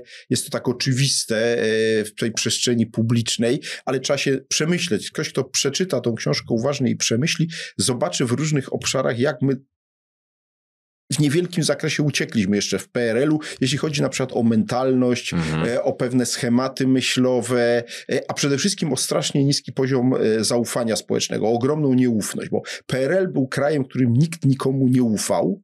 I mam w trzeciej RP, niestety to zostało. Z ogromnym trudem nam się udaje odbudowywać takie bardzo wątłe pokłady zaufania społecznego. Dlaczego? No dlatego, że politycy nam niestety nie pomagają w tym, a PRL był co do zasady krajem, w którym państwo oszukiwało obywateli, obywatele oszukiwali państwo. I to było od początku do końca. To była główna zasada rządząca życiem społecznym. Oszukać. Mhm. Oszukać. No, niestety nam to przeszło na relacje też międzyludzkie. E, I e, oczywiście to nie jest tylko dziedzictwo PRL-u, bo to się zaczęło też pod zaborami. No, to jest tak długie, długie trwanie, ale PRL to tą nieufność społeczną ogromnie wzmocnił. No i, no i niestety zostało nam tego mnóstwo w trzeciej RP i politycy od pewnego momentu, zwłaszcza mówię tutaj o wojnie polsko-polskiej, o której tutaj rozmawialiśmy, mm -hmm. zaczęli nam to zaufanie społeczne demolować jeszcze bardziej, bo polaryzacja właśnie służy potęgowaniu tej nieufności. Nie da się zbudować nowoczesnego społeczeństwa lepiej działającego z tak niskim poziomem zaufania społecznego. Ale to spróbujmy jeszcze na koniec zrobić taką listę pięciu najbardziej zasłużonych polityków dla Polski po 1989 roku. Ach, to jest dopiero pytanie. Wie pan co, y, y, no więc tak, y, jednak tu się narażę strasznie wielu ludziom, ale zacznę od Leszka Balcerowicza, mm. ponieważ ja uważam, że jego plan przyniósł Polsce więcej dobrego niż złego, co nie znaczy oczywiście, że przyniósł same dobre rzeczy. Nie, bo nie ma takich planów gospodarczych i żadnych innych, które, żadnych reform, które są tylko udane i mają tylko jasne strony. To na pewno. Dalej, dalej mimo wszystko Jerzy Buzek, ponieważ ten jego rząd zaryzykował reformy, których jedne się udały, inne nie, ale próbował coś zrobić. E, więc to na pewno jest też postać dla mnie bardzo ważna. E, dalej e, mam wrażenie, że mimo wszystko prezydent Aleksander Kwaśniewski, choć to z trudem mi przychodzi, bo ja zawsze byłem człowiekiem krytycznym wobec w trzeciej RP, wobec, wobec jego obozu politycznego, to uważam, że on tą prezydenturę mimo różnych wpadek na czele z tymi wszystkimi historiami w Charkowie, prawda, i, mm. i różnymi innymi wtopami, które mu się zdarzały, no i trzeba powiedzieć różnymi kłamstewkami, to mimo wszystko bilans jego prezydentury oceniam, oceniam bardzo pozytywnie. Y, kto jeszcze? No, na przykład z takich postaci już kompletnie zapomnianych z, dru z drugiego garnituru e, e, profesor Jerzy Regulski. Mm. To był mhm. człowiek, który zbudował w Polsce samorząd. E, on był pełnomocnikiem rządu mazowieckiego do spraw reformy samorządowej. On stworzył samorządową gminę i on tam stoczył naprawdę ciężką walkę z urzędnikami w Warszawie, żeby wyrwać im choć trochę kompetencji dać, dać samorządowi. Więc nie chcę mówić tylko o takich mm. topowych politykach, wolę też czasem wspomnieć o takich ludziach, ludziach gdzieś tam, których, których mało kto, kto pamięta.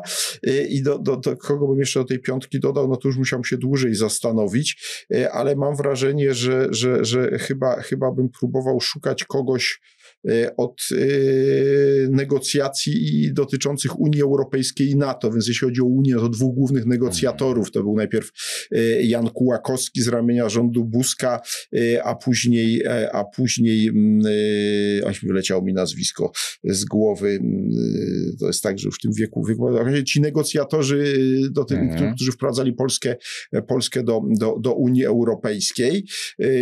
Kto jeszcze? No, no ci, którzy nas wprowadzali do NATO, tak też, też na pewno oni, choć tutaj nie ma jakiegoś jednego oczywistego nazwiska, ale, ale to są ci ludzie, którzy nam pozwoli uciec ze wschodu na zachód, co ja sobie bardzo cenię i czuję się bezpieczniejszy po mm. prostu, zwłaszcza, że pierwsze dwadzieścia parę lat życia spędziłem po wschodniej stronie, więc wiem, e, jak wyglądają wschodnie porządki, wolę te zachodnie, co nie znaczy, że one są idealne. Nie ma czegoś takiego jak idealne. W ogóle jak się przygotowywałem do Pan rozmowy... Truszczyński, o, przypomniałem sobie Jan Truszczyński, Jan Kłakowski, Jan Truszczyński. Jak przypomniałem, jak przygotowywałem się do naszej rozmowy, to pomyślałem sobie właśnie o tym, że też ta ocena polityków jest trudna, bo nie ma nikogo, kto robi rzeczy idealnie, więc zakładamy, że zawsze ktoś się pomyli.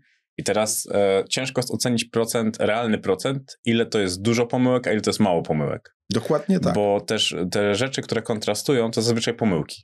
Zazwyczaj pamiętamy o klęskach. No bo Dokładnie tak.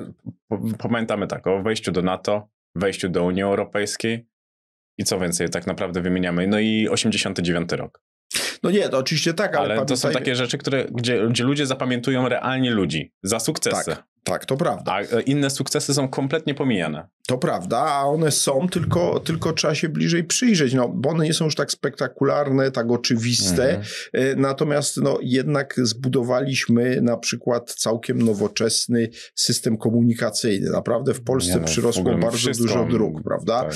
Zmodernizowaliśmy na przykład wiele centrów miast, które wyglądają radykalnie inaczej niż 20-30 lat temu. Prawda? Udało nam się E, na przykład ostatnio się dowiedziałem, ale ta służba zdrowia, którą mamy rzeczywiście za ciągle i słusznie wymagającą wielu naprawy i słabo działającą, mhm. ale całkiem niedawno się dowiedziałem, że system, który u nas już jest obowiązujący, a więc system e-zwolnienia i e-recepty, czyli cyfryzacja tych podstawowych usług medycznych, jeśli chodzi o zwolnienie lekarskie i o leki, na przykład w Niemczech nie jest powszechnie obowiązujący. A no właśnie. Więc widać wyraźnie, że pe w pewnych obszarach nam się udaje już wyprzedzać kraje ewidentnie bardziej od nas rozwinięte. E, co pokazuje, że, że naprawdę nam się sporo udało, tylko, tylko my tego nie doceniamy, no bo ciągle mamy tych kłócących się polityków, tak. którzy się nawzajem dezawuują, więc mamy ich dość. Uważamy, że to jest w ogóle kraj nieudaczników i, i ludzi nieustannie się kłócących, co nie jest prawdą, bo poza tym, że e, prawda, e, są te spory, to nawet niektóre spory nam wychodzą na dobre. Na przykład, co jest największym prezentem w ostatnich miesiącach dla Donalda Tuska? Wojna dwóch sieci handlowych na ceny. Mhm. Wszyscy na tym korzystamy poza ich właścicielami. Także bardzo cenne. Trzymam kciuki, żeby trwały podobne wojny cenowe różnych, różnych handlowców w Polsce. Tak, wymieniliśmy pięciu takich legendarnych, to spróbujmy wymienić jeszcze takich pięciu, którzy są ambitni i za 10 lat mogą stanowić o polskiej sile politycznej. Wie pan co, no ja, ja, ja idąc od, od lewa do prawa uważam tak, że, że jest po pierwsze na lewicy kilka kobiet, które w tej chwili mają szansę i mają swoje pięć mm. minut i zobaczymy, czy je wykorzystają. Mówię tu o Barbarze Nowackiej, mówię tu o Agnieszce Dziemianowicz-Bąk, o Magdalenie Biejat. To na lewicy. Mm. Dalej ciągle dla mnie jest pytanie, czy Szymon Hołownia coś nie zdziała. E, także to on jest dla mnie, dla mnie e, bardzo, bardzo, bardzo mm. ciekawym zadaniem i podobnie Władysław Kośniak-Kamysz. To też jest dla mnie człowiek, polityk o sporym potencjale, który może się w tej chwili wykazać, bo jest bardzo ważnym stanowisku minister obrony, to jest mhm. dzisiaj jedno z najważniejszych resortów. Y, dalej w Platformie jest tam za plecami Tuska kilku młodych polityków, którzy, którzy zobaczymy, e, ale oni na razie są kompletnie w cieniu Tuska i zobaczymy, zobaczymy co, się, co się im uda pokazać. No i w PiSie też uważam, że się mogą pojawić różni ludzie, tylko jak już prezes Kaczyński odejdzie i da im mhm. szansę. I no i podobnie oczywiście Mencen z Bosakiem. Ja uważam, że to są wszystko ludzie od lewa do prawa, wymieniłem osoby, które, e, które mogą, mogą odegrać istotną rolę w polskiej polityce za 10 czy 5-10 lat, mhm. ale równie dobrze może nastąpić wysyp nowych postaci. Tak poczynając od wyborów do no już Parlamentu Europejskiego, to raczej nam nowych postaci nie pojawią, tam idą głównie polityczne słonie, jak ktoś mm -hmm. Bartłomiej tak. Sienkiewicz kwaśno stwierdził, szkoda, że on do nich dołączył, bo to też człowiek, który, który mógłby teoretycznie jeszcze coś więcej w polskiej polityce zdziałać, ale chyba, chyba, chyba nie, mu się to znudziło. No i, i wie pan, i jeśli chodzi o tych młodych ludzi, to ja się spodziewam, że zwłaszcza wybory prezydenckie paradoksalnie mogą być katalizatorem. Nie mówię o kandydacie, ale mówię mhm. o ich, jego zapleczu. Bo mogę sobie wyobrazić powtórkę z takim kandydatem niezależnym, e, który e, pójdzie drogą Hołowni, czy drogą Kukiza, czy, czy drogą jeszcze kilku wcześniej. I nawet jeżeli on tam gdzieś polegnie, ale dostanie dobry wynik, to e, na bazie tego zbuduje ruch polityczny, który znowu będzie takim e, dopływem świeżej krwi do świata polskiej polityki. Mm, to by a my mi się lubimy, podobało. A my lubimy nową krew. No a ja lubię, bo ja uważam, że generalnie, wie pan, e, tak, system pan polityczny jest wtedy zdrowy, jeżeli obok e, tych, którzy są tam od dłuższego czasu, bo musi być też jakiś element stały, są też dochodzą cały czas nowi, żeby ci starzy nie czuli się zapewnie. Mm. Bo ja uważam, że wtedy politycy są skuteczniejsi, jak czują oddech konkurencji. Właśnie dlatego między innymi nie podoba mi się w tych samorządach, ci wieczni prezydenci, e, że tam po prostu w wielu miastach by się przydało przewietrzenie, ono częściowo nastąpiło, częściowo niestety nie e, i, i podobnie w wielu samorządach. Jestem fanem samorządów i dawania im mhm. jak najwięcej kompetencji, tylko pod warunkiem, że tam będzie pewna rotacja, dlatego tak mi na przykład zależy na mediach lokalnych i na przykład marzyłoby mi się, żeby na przykład w tej chwili jest coś takiego po PiSie zostaje jak Narodowy Instytut Wolności, który oczywiście był Narodowym Instytutem Wspierania ludzi, których lubimy, czy lubiła była władza, ale żeby to się zamieniło naprawdę w instytucję taką autentycznie wspierającą społeczeństwo obywatelskie i w ramach tego, żeby najwięcej pieniędzy dawało w formie grantów mediom lokalnym. Mhm. Czyli żeby mówiąc krótko, pierwszeństwo w tych walce o granty z Narodowego Instytutu Wolności mieli różni ludzie zakładający lokalne portale, lokalne telewizje internetowe, jakieś podcasty koncentrujące się na ich gminie, ich powiecie, ich regionie.